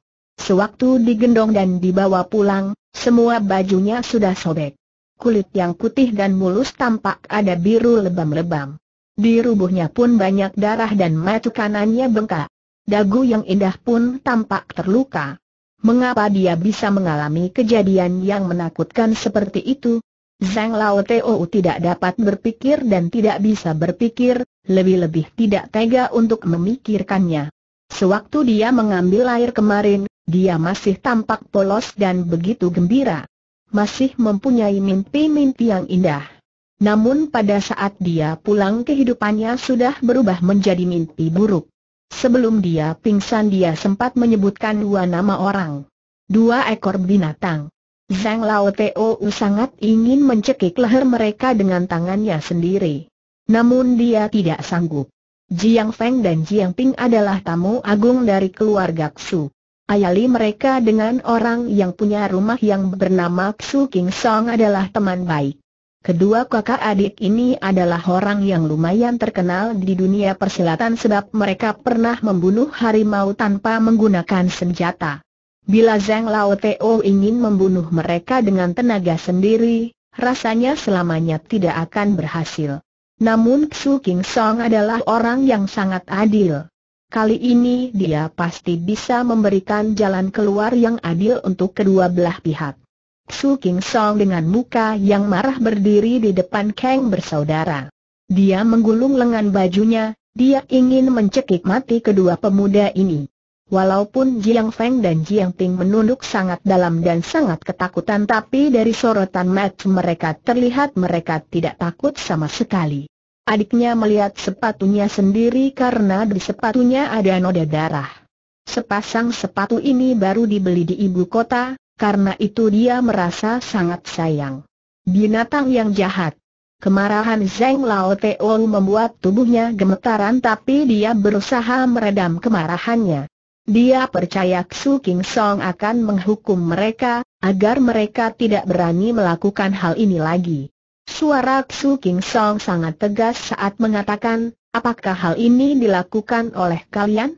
Jawab yang jujur Jiang Feng mengangguk, begitu juga dengan Jiang Ping. Xu King Song sangat marah dan berkata, tidak aku sangka, kalian bisa melakukan hal seperti ini, apakah ajaran orang tua kalian dilupakan begitu saja? Aku adalah teman baik ayah kalian, paling sedikit harus menggantikan dia mengajar kalian. Apakah kalian bisa menerimanya ya jawab Jiang Feng. Wajah Su King Song tidak marah lagi dan berkata, kelakuan kalian walaupun sangat memalukan namun masih mau mengakui kesalahan. Di depanku pun kalian tidak berbohong. Anak muda bila mau mengakui kesalahannya dia masih bisa ditolong, untung Nona Zhang lukanya tidak begitu berat, Zhang Lao Teo tiba-tiba merasa pusing, Kata-kata Xu King Song satu kata pun dia tidak dapat mendengarnya. Nona Zhang lukanya tidak begitu berat, harus bagaimana bisa dikategorikan luka berat. Kebahagiaan seumur hidupnya sudah dirampas oleh dua ekor binatang ini. Luka seumur hidup tidak dapat dilupakan. Apakah ini tidak termasuk berat? Su King Song berkata lagi, sekarang aku tanya kepada kalian, Kelak apakah kalian masih berani melakukan perbuatan seperti ini lagi? Jiang Feng mengeluarkan senyum yang licik, dia tahu bahwa masalah sudah beres. Dengan cepat Jiang Feng berkata, tidak berani lagi karena pertama kalinya kalian melakukan hal ini dan berani mengakui kesalahan kalian, maka hukumannya agak ringan.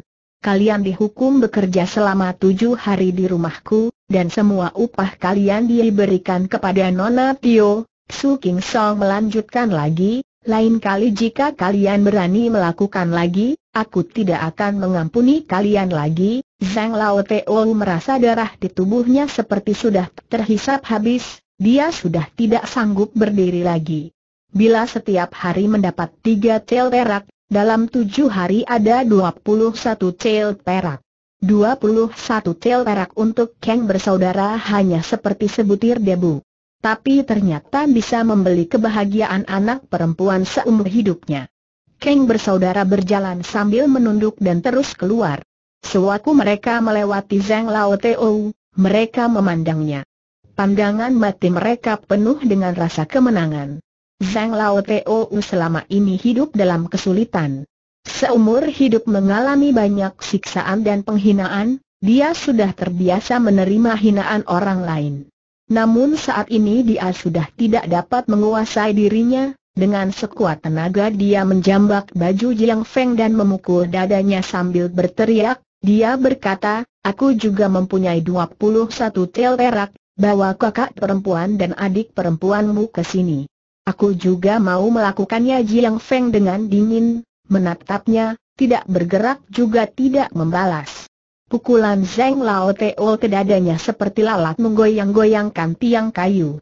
Dua orang pelayan datang dan menarik tangan Zheng Lao Teo dan mengangkat Zheng Lao Teo keluar.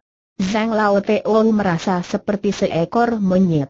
Seumur hidup merasa dihina dan dipermainkan seperti seekor monyet.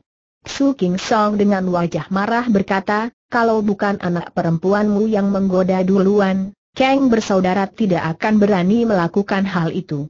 Mengapa mereka tidak melakukan hal itu kepada perempuan lain?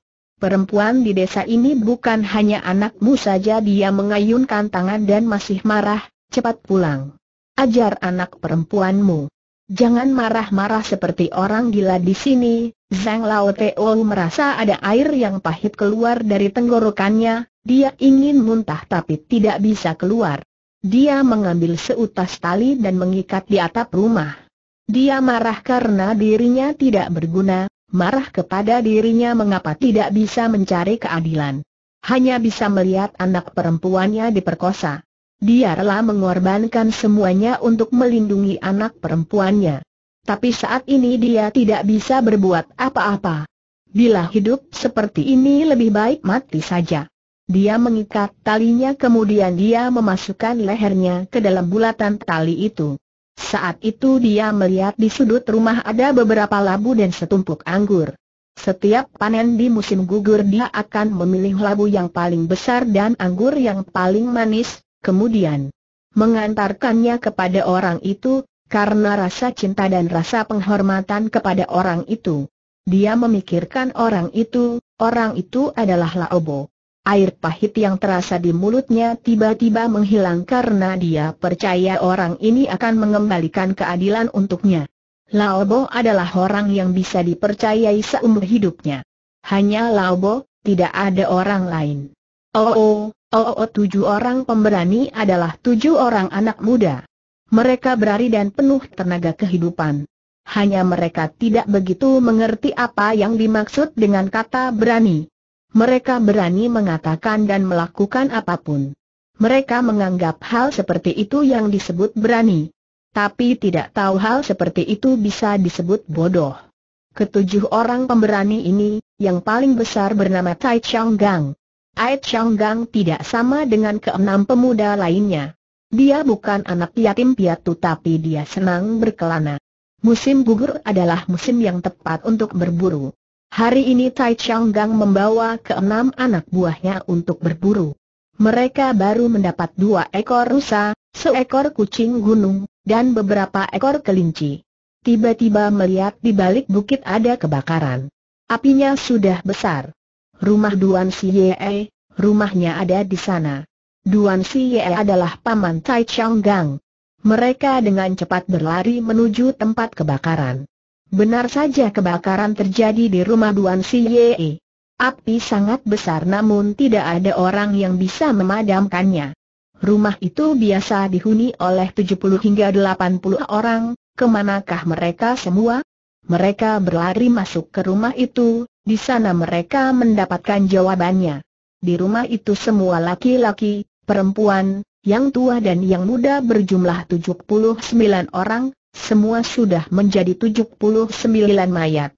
Tombak perak yang biasa digunakan oleh Duan CIS sekarang sudah terputus menjadi dua. Dan ujung tombaknya menancap di dada Duan CIE. Namun gagang tombak tidak ada di tangan Duan CIE. Sepasang tangannya terkepal dengan keras, punggung tangannya tampak urat nadi hijau masih melingkar-lingkar seperti ular mati. Barang apa yang digenggam begitu erat? Hingga mati pun tidak rela melepaskannya. Tidak ada orang yang tahu, dia sendiri pun tidak memiliki kesempatan untuk bicara. Mati pun dia tidak sempat menutup matanya. Ait Gang melihat wajah Duan Siye yang sudah berubah dan memandang bola matanya yang menonjol keluar karena perasaan marah yang dialami Duan Siye sebelumnya. Ait Gang merasa hatinya sangat sakit dan lambungnya pun terasa menciut. Dia jongkok dan menutupi kelopak mata pamannya, kemudian membuka genggaman tangan pamannya. Genggaman itu sangat sulit dibuka. Tangan Duan Siye menggenggam terlalu erat, darah dan tulang sudah mengeras. Api semakin mendekat, api sudah memanggang wajah Tai Chang Gang yang putih menjadi kemerahan dan rambutnya mulai tercium bau hangus. Anak buahnya berteriak, cepat lari. Kita keluar dulu baru bicara lagi Tai Chang Gang menggigit bibirnya dan mencabut golok dan memenggal sepasang tangan pamannya. Kemudian sepasang tangan itu disimpan di dalam pakaiannya. Anak buahnya merasa aneh.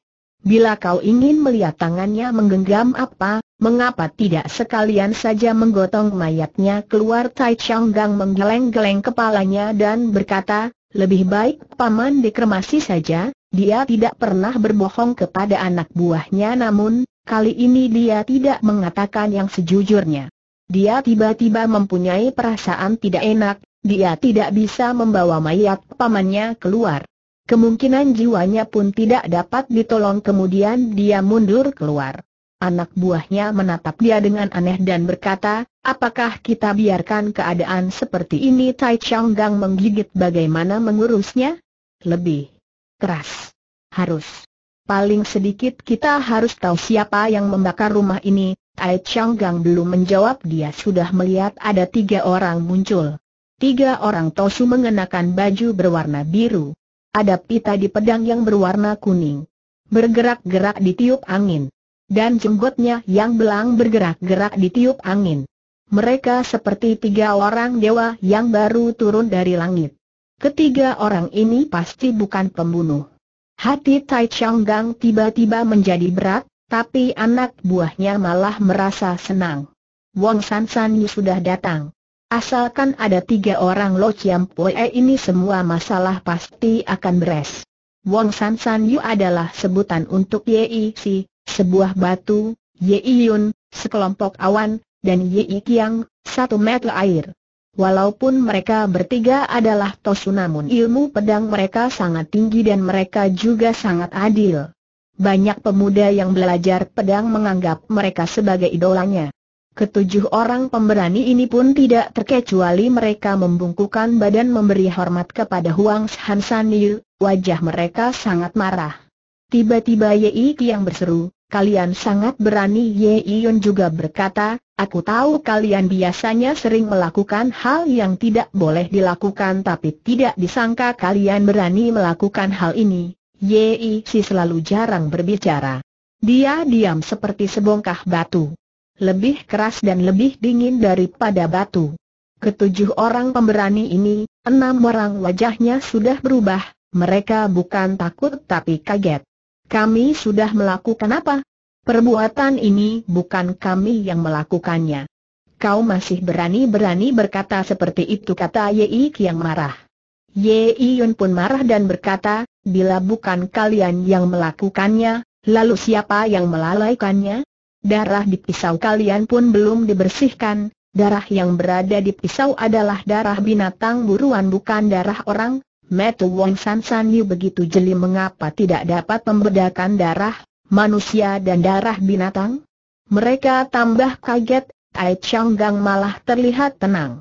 Sebab dia sudah melihat semua penyebabnya, dia juga tahu tidak ada orang yang bisa membela mereka.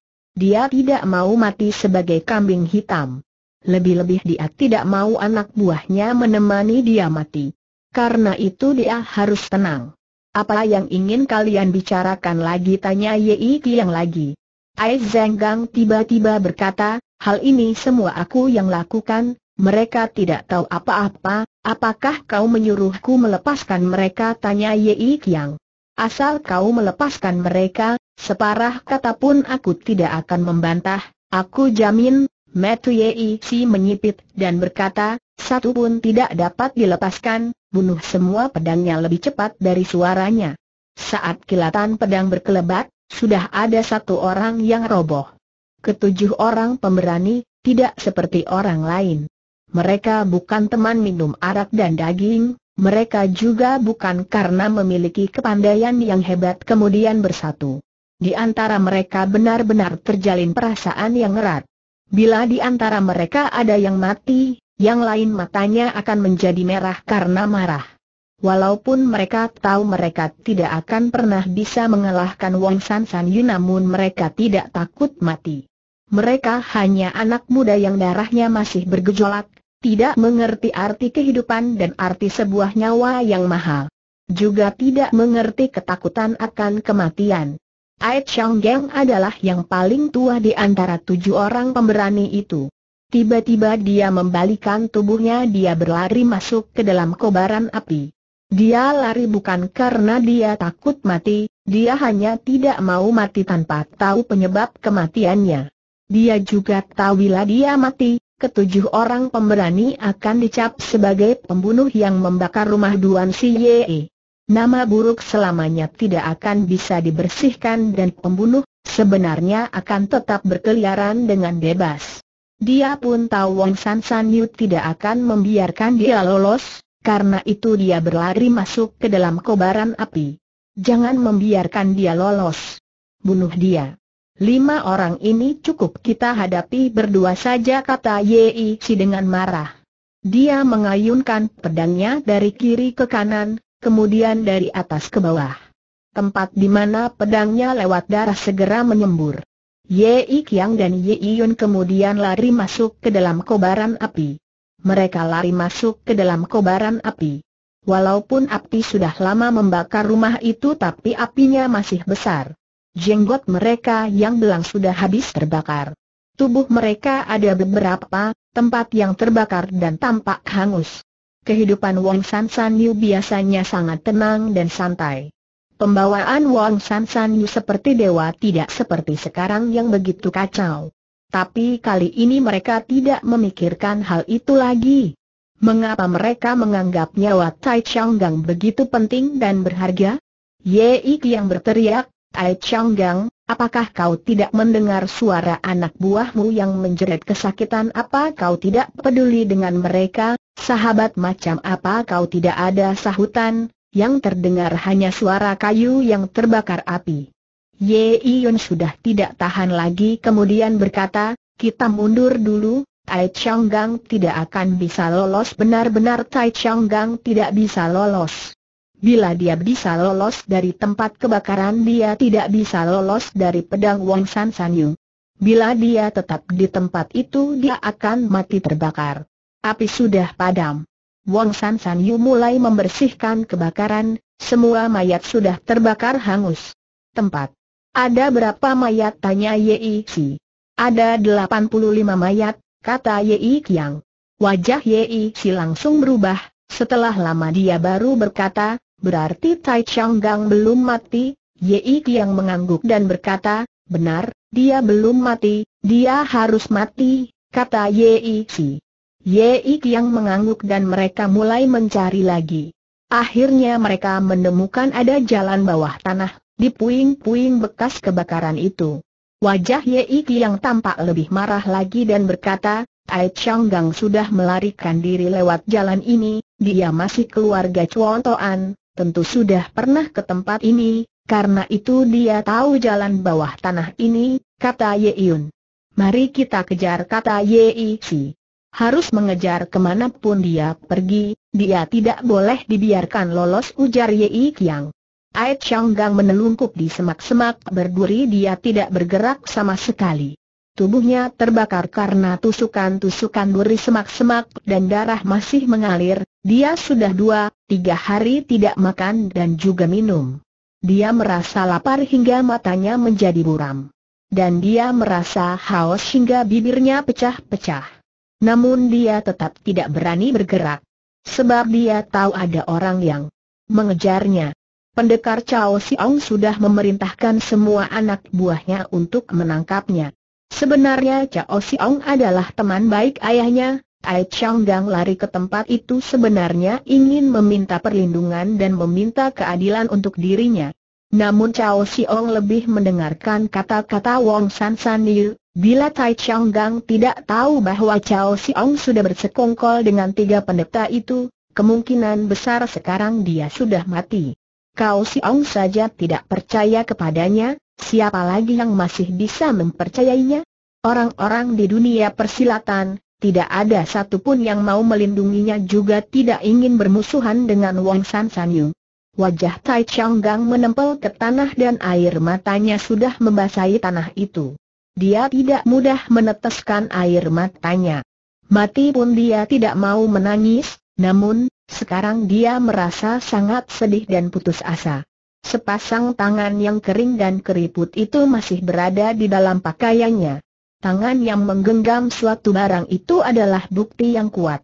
Tapi dia tidak dapat mengeluarkan bukti itu dan memperlihatkan kepada orang lain, karena tidak ada yang mempercayainya. Orang lain akan membawa sepasang tangan ini dan memberikan kepada Wong San Sanyu. Bukti-bukti ini kemungkinan besar akan dimusnahkan, dan Cai Cenggang hingga mati pun sudah tidak ada tempat lagi. Saat ini Cai Cenggang seperti seekor anjing liar, sedih, dingin, lapar, tidak ada orang yang mau membantunya. Kemungkinan kehidupan anjing liar malah bisa lebih baik dari dirinya. Dia membalikan tubuhnya. Bintang-bintang sudah bermunculan, sinar bintang masih seperti dulu begitu terang dan indah. Sinar bintang selalu membawa harapan. Tiba-tiba dia terpikir pada seseorang, dialah Laobo.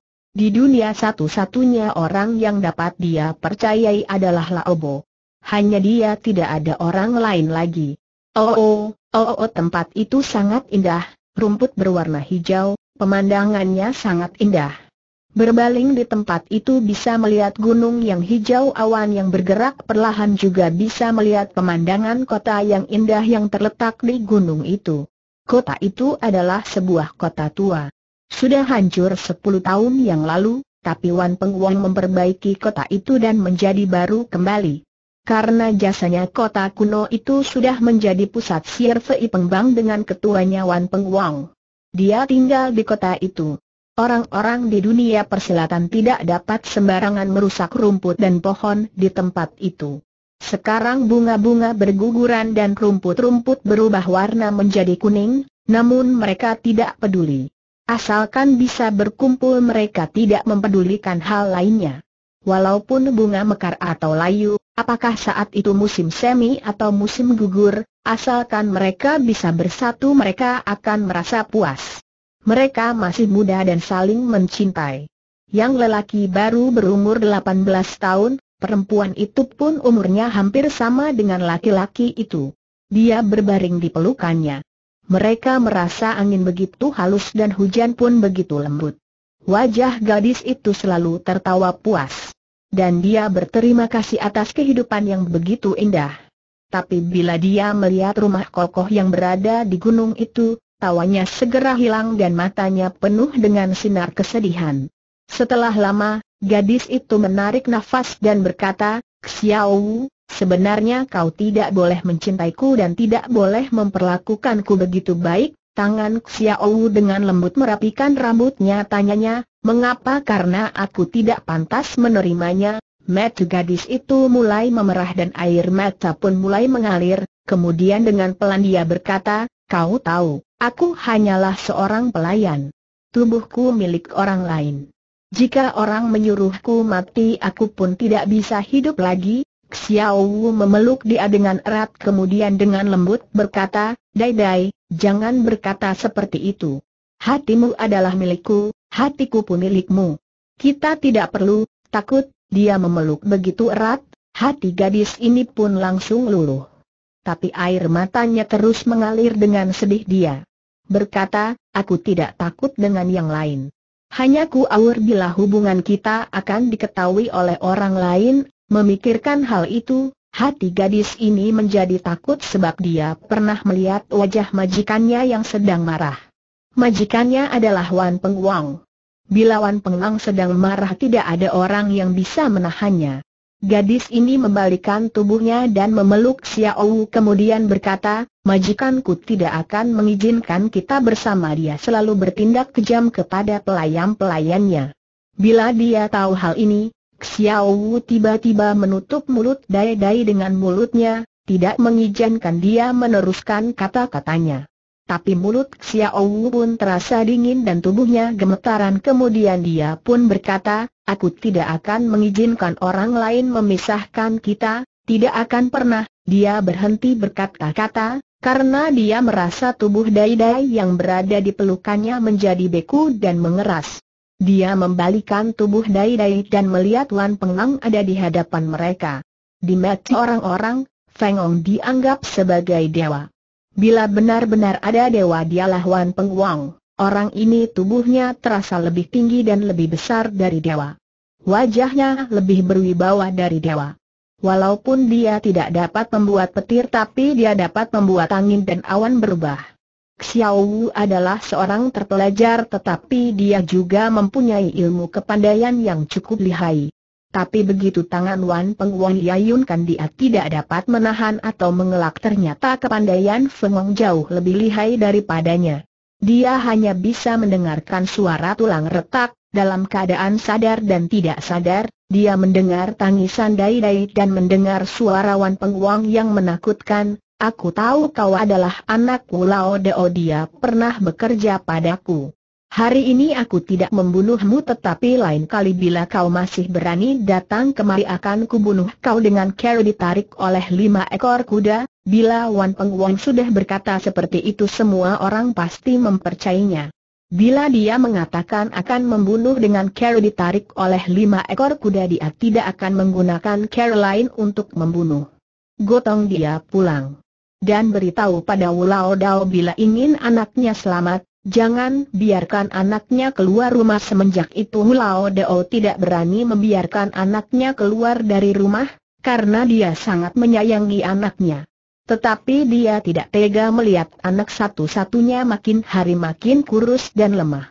Dia juga pernah meminta pada Wan Pengwong agar Dai-Dai dapat menikah dengan anaknya.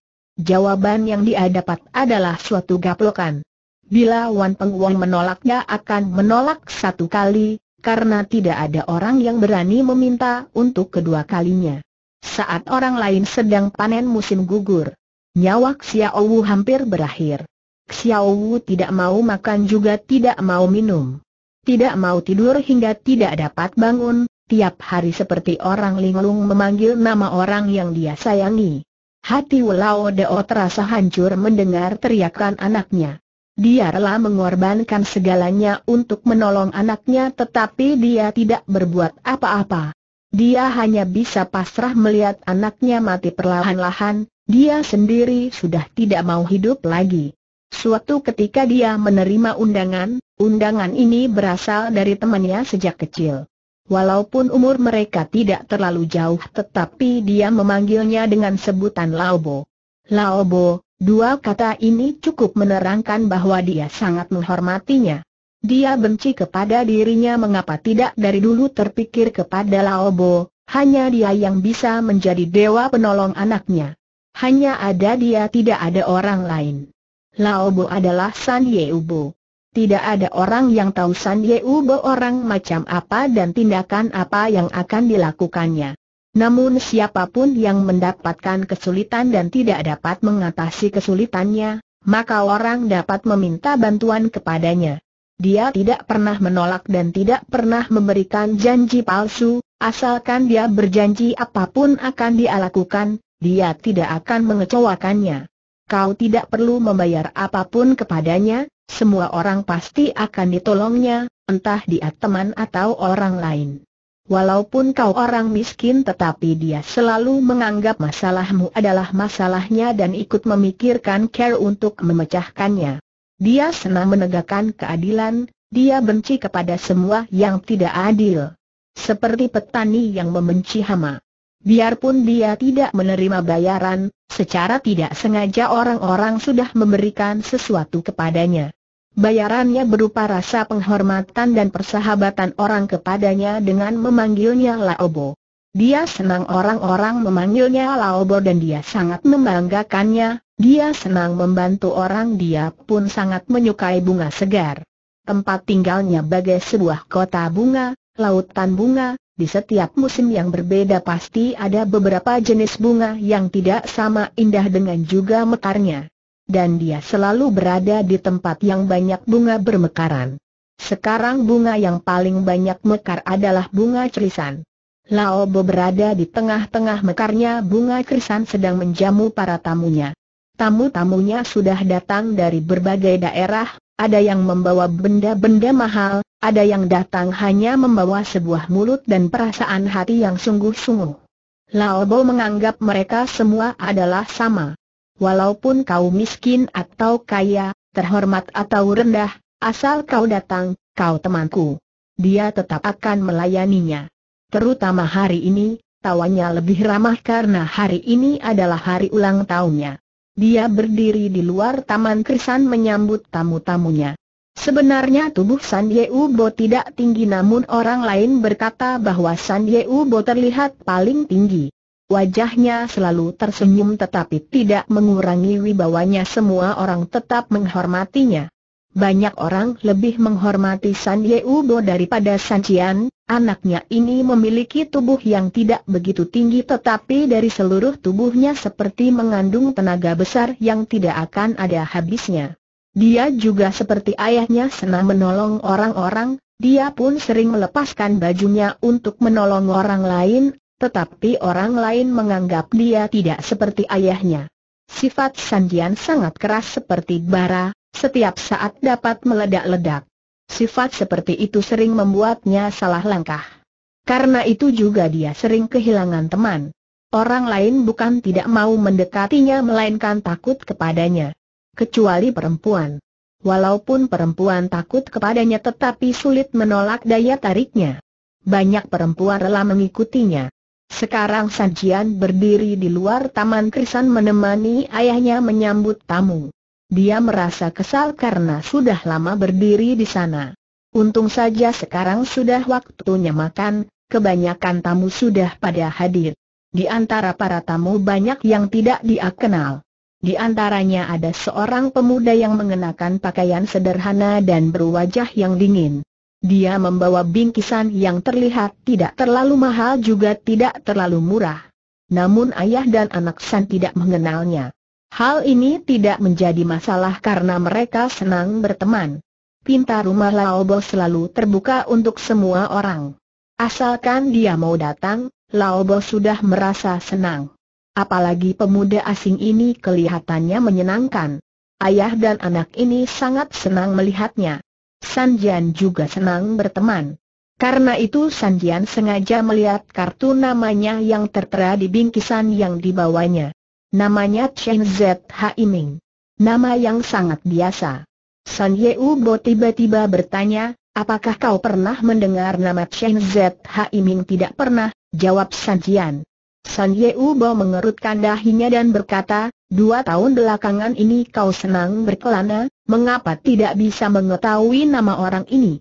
Kemungkinan nasibnya kurang mujur jadi namanya tidak dikenal, San Yeubo berpikir sebentar kemudian berkata, sebentar lagi kau harus bertanya kepada Luk Siang Chuan, kemungkinan dia tahu siapa pemuda itu, baiklah. Walaupun Sanjian berjanji untuk bertanya, tetapi dia tidak sempat menanyakan karena tamu yang berdatangan semakin banyak dan mereka melupakan kejadian tadi. Jika Sanjian tidak tapa juga belum tentu dia akan menanyakan kepada Luk Siang Chuan, sebab dia menganggap bahwa Luk Siang Chuan terlalu kebanci-bancian. Bila Sanjian mengenal pemuda itu dan menanyakan mengapa datang ke tempat itu, keadaannya akan lain. Begitu banyak hal yang membuat darah orang bergolak dan begitu banyak hal yang membuat orang meneteskan air mata. Hal ini tidak akan terjadi bila Sanjian mengikuti nasihat ayahnya. Sebenarnya pemuda itu bukan bernama Chen Z Iming. Dia datang ke tempat itu untuk membunuh orang, dan sasarannya adalah San Yeubo. Nama sebenarnya adalah Meng Sing Hun. Bila San Jian sempat bertanya kepada Luk Siang Chuan, Luk Siang Chuan pasti akan menyelidiki pemuda itu, bila tidak berhasil maka dia tidak akan puas begitu saja. Luk Siang Chuan sebenarnya tidak seperti perempuan tetapi dia orang yang teliti, lebih hati-hati dan lebih waspada daripada perempuan. Dia dan Sanjian memiliki sifat yang sangat bertolak belakang. Wajah mereka pun tidak ada sama. Sanjian berwajah gagah, alisnya tebal, mata besar, kulitnya berwarna coklat karena terjemur matahari. Saat dia memelototi dirimu maka kau tidak akan bisa mengalihkan pandanganmu kepada orang lain dan tidak ada kekuatan memandang orang lain. Luk Siang Chuan berwajah pucat, orangnya terlihat terpelajar, kadang-kadang musuh sering meremehkannya, menganggap dia tidak bisa apa-apa. Kesalahan menakutkan. Ini sangat sepele, tetapi justru sangat Luk Siang Chuan adalah tangan kanan Su Ubo. Dia adalah seorang pesilat tangguh di dunia persilatan yang memiliki senjata rahasia, seperti senjata tiaunya di dunia ini tidak ada yang bisa menandinginya. Dia tidak pernah menggunakan senjata. Seseorang yang dibalik tubuhnya penuh dengan senjata rahasia kapan pun dia bisa mengeluarkan senjata rahasia dan dia tidak perlu memakai senjata lain. San Yeu Bo melihat labu dan anggur ada di dalam keranjang, dia tahu Zeng Lao Teo sudah datang. Setiap tahun Zeng Lao Teo tidak pernah lupa mengantar labu dan anggur ke tempatnya. Dalam setahun dia rajin bekerja jarang ada waktu kosong dan dia jarang bisa menikmati hidup, hanya pada waktu ke tempat ini dia bisa benar-benar bisa bersantai, menikmati makanan dan kesenangan yang tidak pernah dinikmati di tempat lain. Karena itu setiap kali dia datang, dia sangat senang. Namun kali ini saat bertemu dengan San Ubo, wajahnya penuh dengan air mata. San Ubo membawa Zhang Lao Teo masuk ke ruang perpustakaan dan memberi dia secangkir arak dan pipa rokok agar Zhang Lao Teo bisa lebih tenang. Ruang perpustakaan adalah tempat yang tidak bisa sembarangan dimasuki. Siapa pun yang bercerita di tempat itu tidak dapat didengar oleh orang lain. Karena itu San Yubo membawa Zhang Lao Teo ke tempat itu. Karena dia tahu teman lamanya banyak kesedihan yang ingin diungkapkan. San Yubo mengetahui bahwa seseorang bila ingin mengutarakan isi hatinya kemudian meminta bantuan, hal ini sangat sulit diutarakan. Akhirnya Zhang Lao Teo menceritakan hal yang menyedihkan baginya. Setelah mendengar cerita itu San Yeu Bo marah hingga wajahnya menjadi kehijau-hijauan. Walaupun San Yeu Bo tidak menjanjikan apa pun, tetapi Zhang Lao Teo tahu dia pasti akan menyelesaikan masalah ini dengan adil.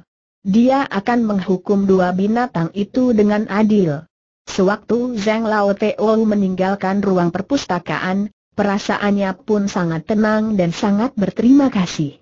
Begitu pula dengan Fang Yaoping, siapa pun yang pernah datang ke tempat itu, mereka tidak akan kecewa. Kemudian ada beberapa orang datang untuk meminjam uang mereka juga dengan puas pulang rumah masing-masing. Kali ini Luk Siang Chuan memasuki ruang perpustakaan, dia tahu sekarang San Ye Ubo memiliki pesan untuknya. Perintah San Ye Ubo biasanya sangat sederhana. Dia menyuruh beberapa orang dalam waktu tiga hari lagi ke rumah Su King Song. Tidak perlu mencabut yang bersaudara tapi harus memberi pelajaran dengan cara membuat mereka tidak bisa bangun dalam waktu tiga bulan dari tempat tidur. Luk Siang Chuan setelah lama berpikir baru berkata, bagaimana bila menyuruh Wen Hou dan Wen Bao ke sana? Mereka sangat berpengalaman mengurus hal semacam ini, San Yeu mengangguk dan berkata, Mau Mei harus dihadapi sendiri oleh San Jian, Luk Siang Chuan tertawa, dia sudah mengetahui maksud Lao Bo. Bila Lao Bo menyuruh San Jian menghadapi seseorang artinya sama dengan liari kiamat bagi orang itu. San Yeu berkata lagi, yang ke rumah Wan Pengwang harus kau sendiri yang pergi karena Wan Pengwang adalah orang yang sangat menyusahkan, Aku harap kau pergi ke sana saat pulang nanti bisa membawa anak gadis itu. Dia hanya memerintah tetapi tidak menjelaskan, dia menyuruhmu melakukan perintahnya dan tidak boleh gagal dalam melaksanakannya, bagaimana dengan caranya adalah urusanmu sendiri. Luk Siang Chuan mengetahui bahwa tugas ini sangat sulit namun di wajahnya tidak menampakkan rasa susah. Semua orang tahu demi Lao Bo dia mau melakukan apa pun. Lao Bo memberikan tugas yang paling sulit kepadanya, artinya Lao Bo mempercayainya. Memikirkan hal itu, dia tersenyum seorang diri.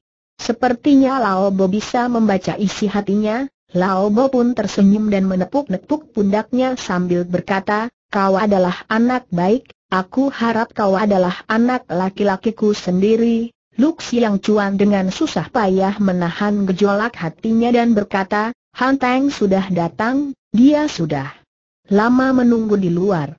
Dia ingin berpamitan kepada Tuan, mendengar nama Han Teng, wajah Lao Bo tiba-tiba membeku dan berkata, seharusnya dia jangan datang, Luk Siang Chuan tidak berbicara apa-apa karena dia pun tidak tahu Honteng orang semacam apa dan bagaimana hubungan Honteng dengan Laobo.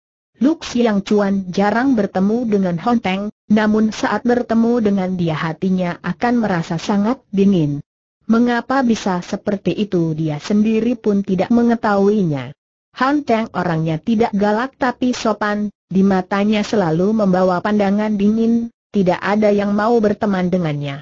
Dia sendiri pun tidak mau dekat dengan orang lain, di mana pun ia berada dia selalu menjauhi orang lain. Bila ada orang yang mendekatinya, dia akan segera menjauh. Di depan Laobo dia pun jarang membuka mulut, sepertinya dia hanya bisa menggunakan isyarat dalam mengungkapkan maksudnya.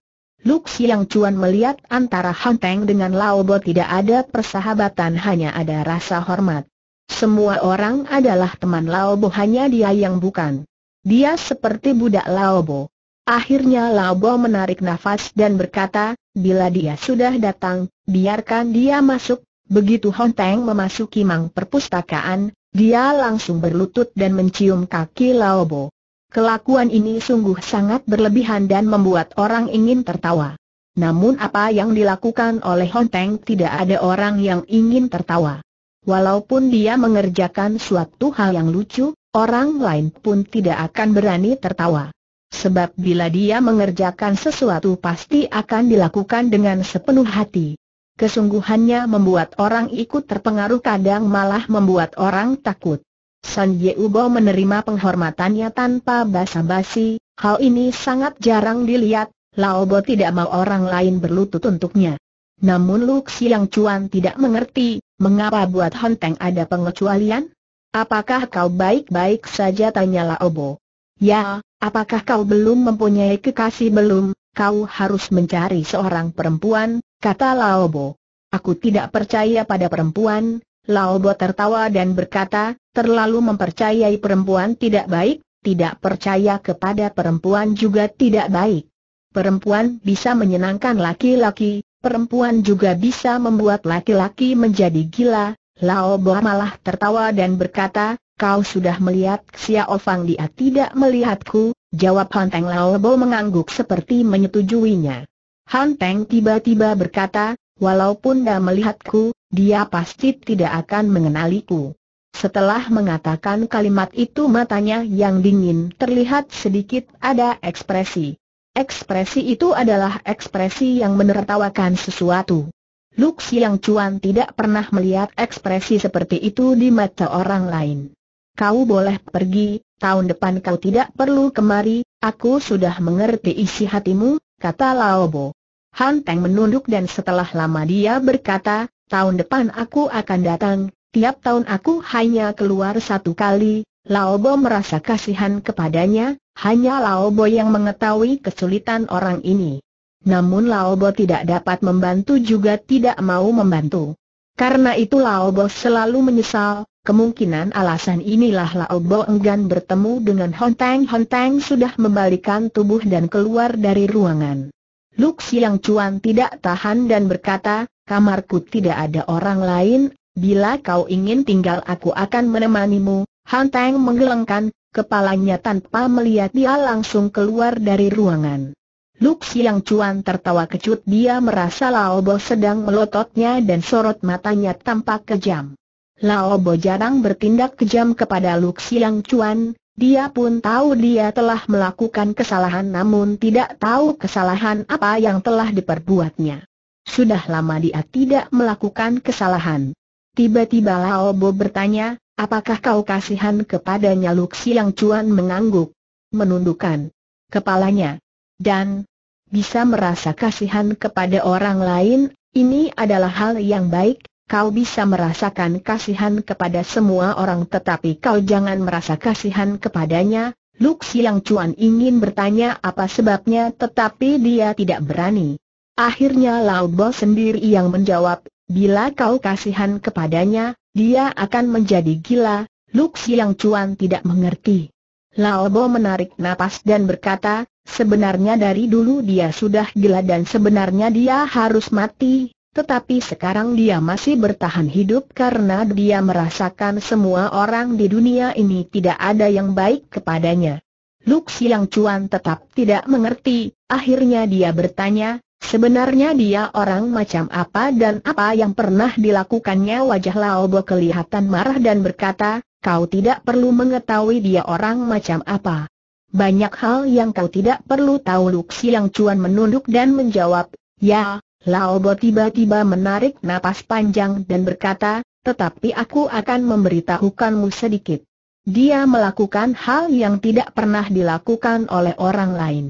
Kemungkinan tidak pernah ada orang lain lagi yang melalaikannya. Luk Siang Chuan masih menundukkan kepalanya saat dia keluar ruangan, tiba-tiba ada keributan dan ada orang yang berteriak karena di taman bunga di belakang rumah datang satu makhluk aneh. Yang menerobos masuk ke dalam taman bunga bukan makhluk aneh, dia adalah Tai Changgang, kelihatannya dia sangat menakutkan. Tubuhnya dari atas hingga bawah penuh dengan luka dan rambutnya hampir habis terbakar. Wajahnya terbakar hingga berubah bentuk, sepasang mati merah seperti darah. Bibirnya kering dan belah-belah seperti tanah tandus. Begitu dia menerobos masuk seperti seekor binatang yang lari karena dikejar pemburu.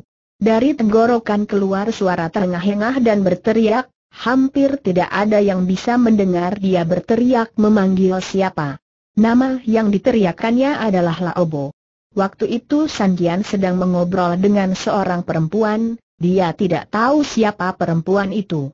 Dia hanya tahu bahwa perempuan ini bukan istri orang dan juga bukan perempuan baik-baik. Saat itu dia telah melihat Tai Cenggang. Dia sudah lama mengenal Tai Cenggang namun, sekarang dia hampir tidak mengenalinya. Dia mendekati orang itu kemudian memapahnya, kemudian Sajian berteriak, Mengapa kau bisa menjadi seperti ini? Sajian mengayunkan tangan meminta arak kemudian mencekoki arak itu ke dalam mulut Tai Changgang, Napas Tai Changgang menjadi sedikit tenang namun Tai Changgang masih belum dapat berbicara. Dari sorot matanya, Sanjian dapat melihat Tai Changgang sangat ketakutan kemudian Sanjian berkata, tidak perlu takut, bila sudah sampai di tempat ini kau tidak perlu takut, di sini tidak ada orang yang berani melukaimu. Kalimat ini belum habis, dia sudah mendengar seorang menjawab, kalimat ini tidak boleh katakan, Orang yang bicara adalah Yei Kiang Tojin, ternyata Wong San San Yu sudah mengejar Tai Changgang hingga ke tempat itu. Tidak bisa kata Sanjian. Kemungkinan kau belum tahu bahwa dia adalah seorang pembunuh, dan yang dibunuhnya adalah pamannya sendiri, kata Yei Kiang. Aku hanya tahu bahwa dia adalah temanku. Sekarang dia terluka dan aku tahu dia percaya kepadaku, karena itu dia bisa ke tempat ini. Tidak ada seorang pun bisa membawanya pergi dari tempat ini, Yeik yang marah. Yeik yang berkata dengan marah, suruh ayahmu ke sini kami ingin bicara dengannya. Urat di dahi Sanjian sudah tampak menonjol, dia berkata, omongan ayah akan sama denganku, siapa pun tidak ada yang dapat membawanya pergi dari tempat kami ini, kau sangat berani. Tapi kemungkinan ayahmu tidak berani berbuat tidak sopan kepada kami, kata Yei yang marah. Tiba-tiba ada seseorang yang menjawab, kau salah. Dia tidak sopan adalah sifat turunan, kemungkinan ayahnya lebih tidak sopan lagi kata-kata berwibawa. Orang ini sangat tenang. Tetapi, sangat. Mengapa kau tahu kata Yei Kiang? Aku pasti tahu sebab aku adalah ayahnya, kata Laobo. Yei Kiang menjadi terpaku. Dia hanya mendengar nama Lao Bo tetapi belum pernah bertemu dengannya. Kemungkinan Tuan San tidak kenal kami karena itu Tuan bisa bicara seperti itu, kata Ye Yun. Walaupun kami tidak kenal kalian, apa yang akan kuutarakan semuanya sama, Ye yang dengan marah berkata, sudah lama mendengar berita bahwa San Ye Bo adalah orang yang sangat adil, Mengapa hari ini dia melindungi seorang pembunuh bila dia memang seorang pembunuh, kita harus menunggu lukanya sembuh, baru bisa bertanya. Apalagi tidak ada yang bisa membuktikan bahwa dia adalah seorang pembunuh, kami melihat dengan mata kepala sendiri, apakah itu semua adalah suatu kebohongan kata Ye Yun. Kalian melihat sendiri, tetapi aku tidak melihatnya. Aku hanya lalui bila dia seorang pembunuh dia tidak akan berani ke sini, tidak ada orang yang berani menipu Laobo. Bila ada yang berani, menipu Laobo sama dengan menggali lubang kematiannya sendiri. Apakah kata-kata dari Wong San San Yu kau juga tidak percaya teriak Ye Iyun? Wong San San Yu adalah orang. Ait Chang Gang pun manusia. Semua orang mempunyai hak untuk bicara. Sekarang aku mau mendengar apa yang ingin dia katakan. Ai Chang dengan sekuat tenaga berteriak, mereka adalah pembunuh, aku mempunyai bukti. Mereka tahu aku mempunyai bukti karena itu mereka ingin melenyapkan aku untuk tutup mulut. Di mana buktinya tanya San Ye Ubo. Ai Chang dengan susah payah berusaha duduk dan dari balik bajunya mengeluarkan sepasang tangan yang sudah kering. Melihat sepasang tangan ini, wajah Wong San San Yu berubah. Yei si tiba-tiba berteriak, pembunuh ini harus mati, tidak perlu bicara lagi. Bunuh dia pedangnya bergerak lebih cepat daripada suaranya, secepat kilat pedang sudah menusuk ke arah tenggorokan San Ye Ubo. Pedang Ye Ojang dan Ye Yun pun tidak kalah cepat yang dituju mereka adalah Tai Gang dan Sanjian. Lao Bo tidak bergerak, Jari-jarinya pun tidak bergerak, semua orang merasa marah dan berlari ke arah San Ye Ubo untuk melindunginya. Tetapi mereka tidak perlu melindungi San Ye Ubo. Saat pedang Ye si baru menusuk, dia sudah terjatuh dan tersungkur. Tangannya yang memegang pedang, sudah penuh dengan paku, paku-paku itu adalah senjata rahasia. Ye si juga tidak melihat senjata rahasia ini datang dari mana.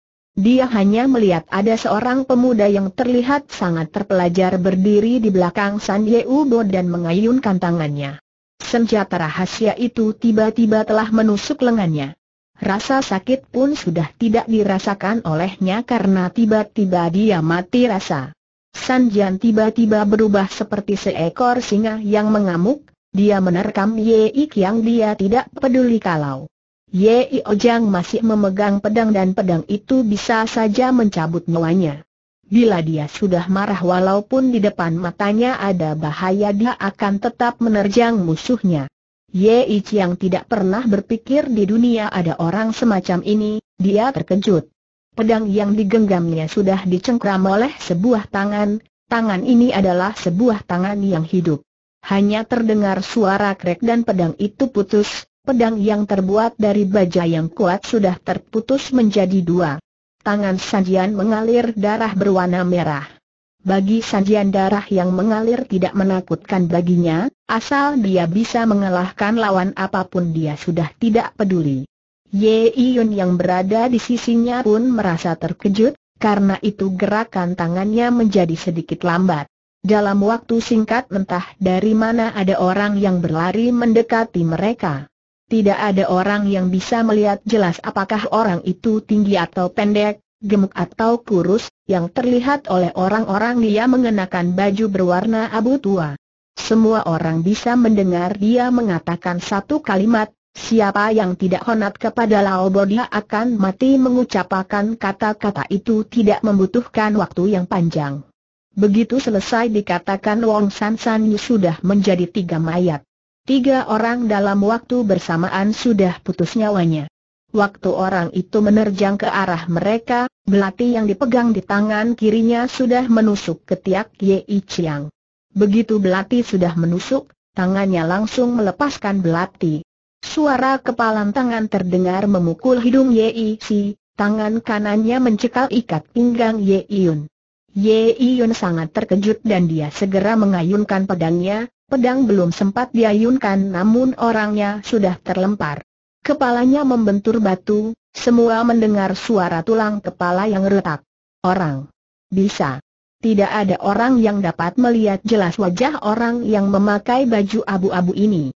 Sewaktu tangan kanannya melempar Ye Iyun, tangan kirinya dengan darah Ye Si melumuri wajahnya agar orang-orang tidak dapat melihat wajahnya. Sebenarnya dia tidak perlu melakukannya sebab semua orang dalam keadaan terkejut mana ada orang yang sempat melihat wajahnya. Yang ada ke tempat itu kebanyakan adalah orang-orang dunia persilatan. Membunuh dua hingga tiga orang bagi orang-orang persilatan bukan tindakan yang aneh namun mereka tetap dikejutkan oleh tindakan tadi. Membunuh orang tidak menakutkan, yang menakutkan adalah cara membunuhnya, cepat, tepat, dan kejam. Tidak ada orang yang bisa membunuh orang begitu cepat, tepat, dan kejam. Sepasang tangan yang kering dan keriput yang dibawa oleh Tai Chang Gang, barang yang digenggam erat adalah separuh dari pita kuning yang berada di ujung pegangan. Pedang salah satu dari Wong San San Yu dan secari kain biru, di atas kain masih ada kancing berwarna kuning. Pita pedang itu dengan pita pedang Wong San San Yu adalah sama. Pecahan kain dengan pakaian, mereka sama namun bukti ini tidak penting. Yang penting adalah mereka sudah tidak sopan kepada Lalbo maka mereka harus mati. Kata-kata ini pasti didukung oleh semua orang dan kata-kata ini tidak dapat dilupakan oleh semua orang, apalagi bagi Meng Sing Hun, dia tidak akan pernah melakukannya. Sewaktu Wong San San Yu tewas, Meng Sin Hun sudah meninggalkan Taman Krisan Laobo. Dia tidak perlu ada di sana lagi karena yang dilihatnya dan didengarnya sudah jelas San Yeu orang macam apa. Dia membunuh orang dan langkah pertama yang diambilnya adalah harus mengetahui dulu lawannya seperti apa. Hal yang lain bisa menunggu hari lain. Dia tidak tergesa-gesa. Sekarang batas waktu diberikan oleh kakak Dao tinggal 113 hari lagi. Langkah pertama untuk membunuh orang sudah dia jalankan.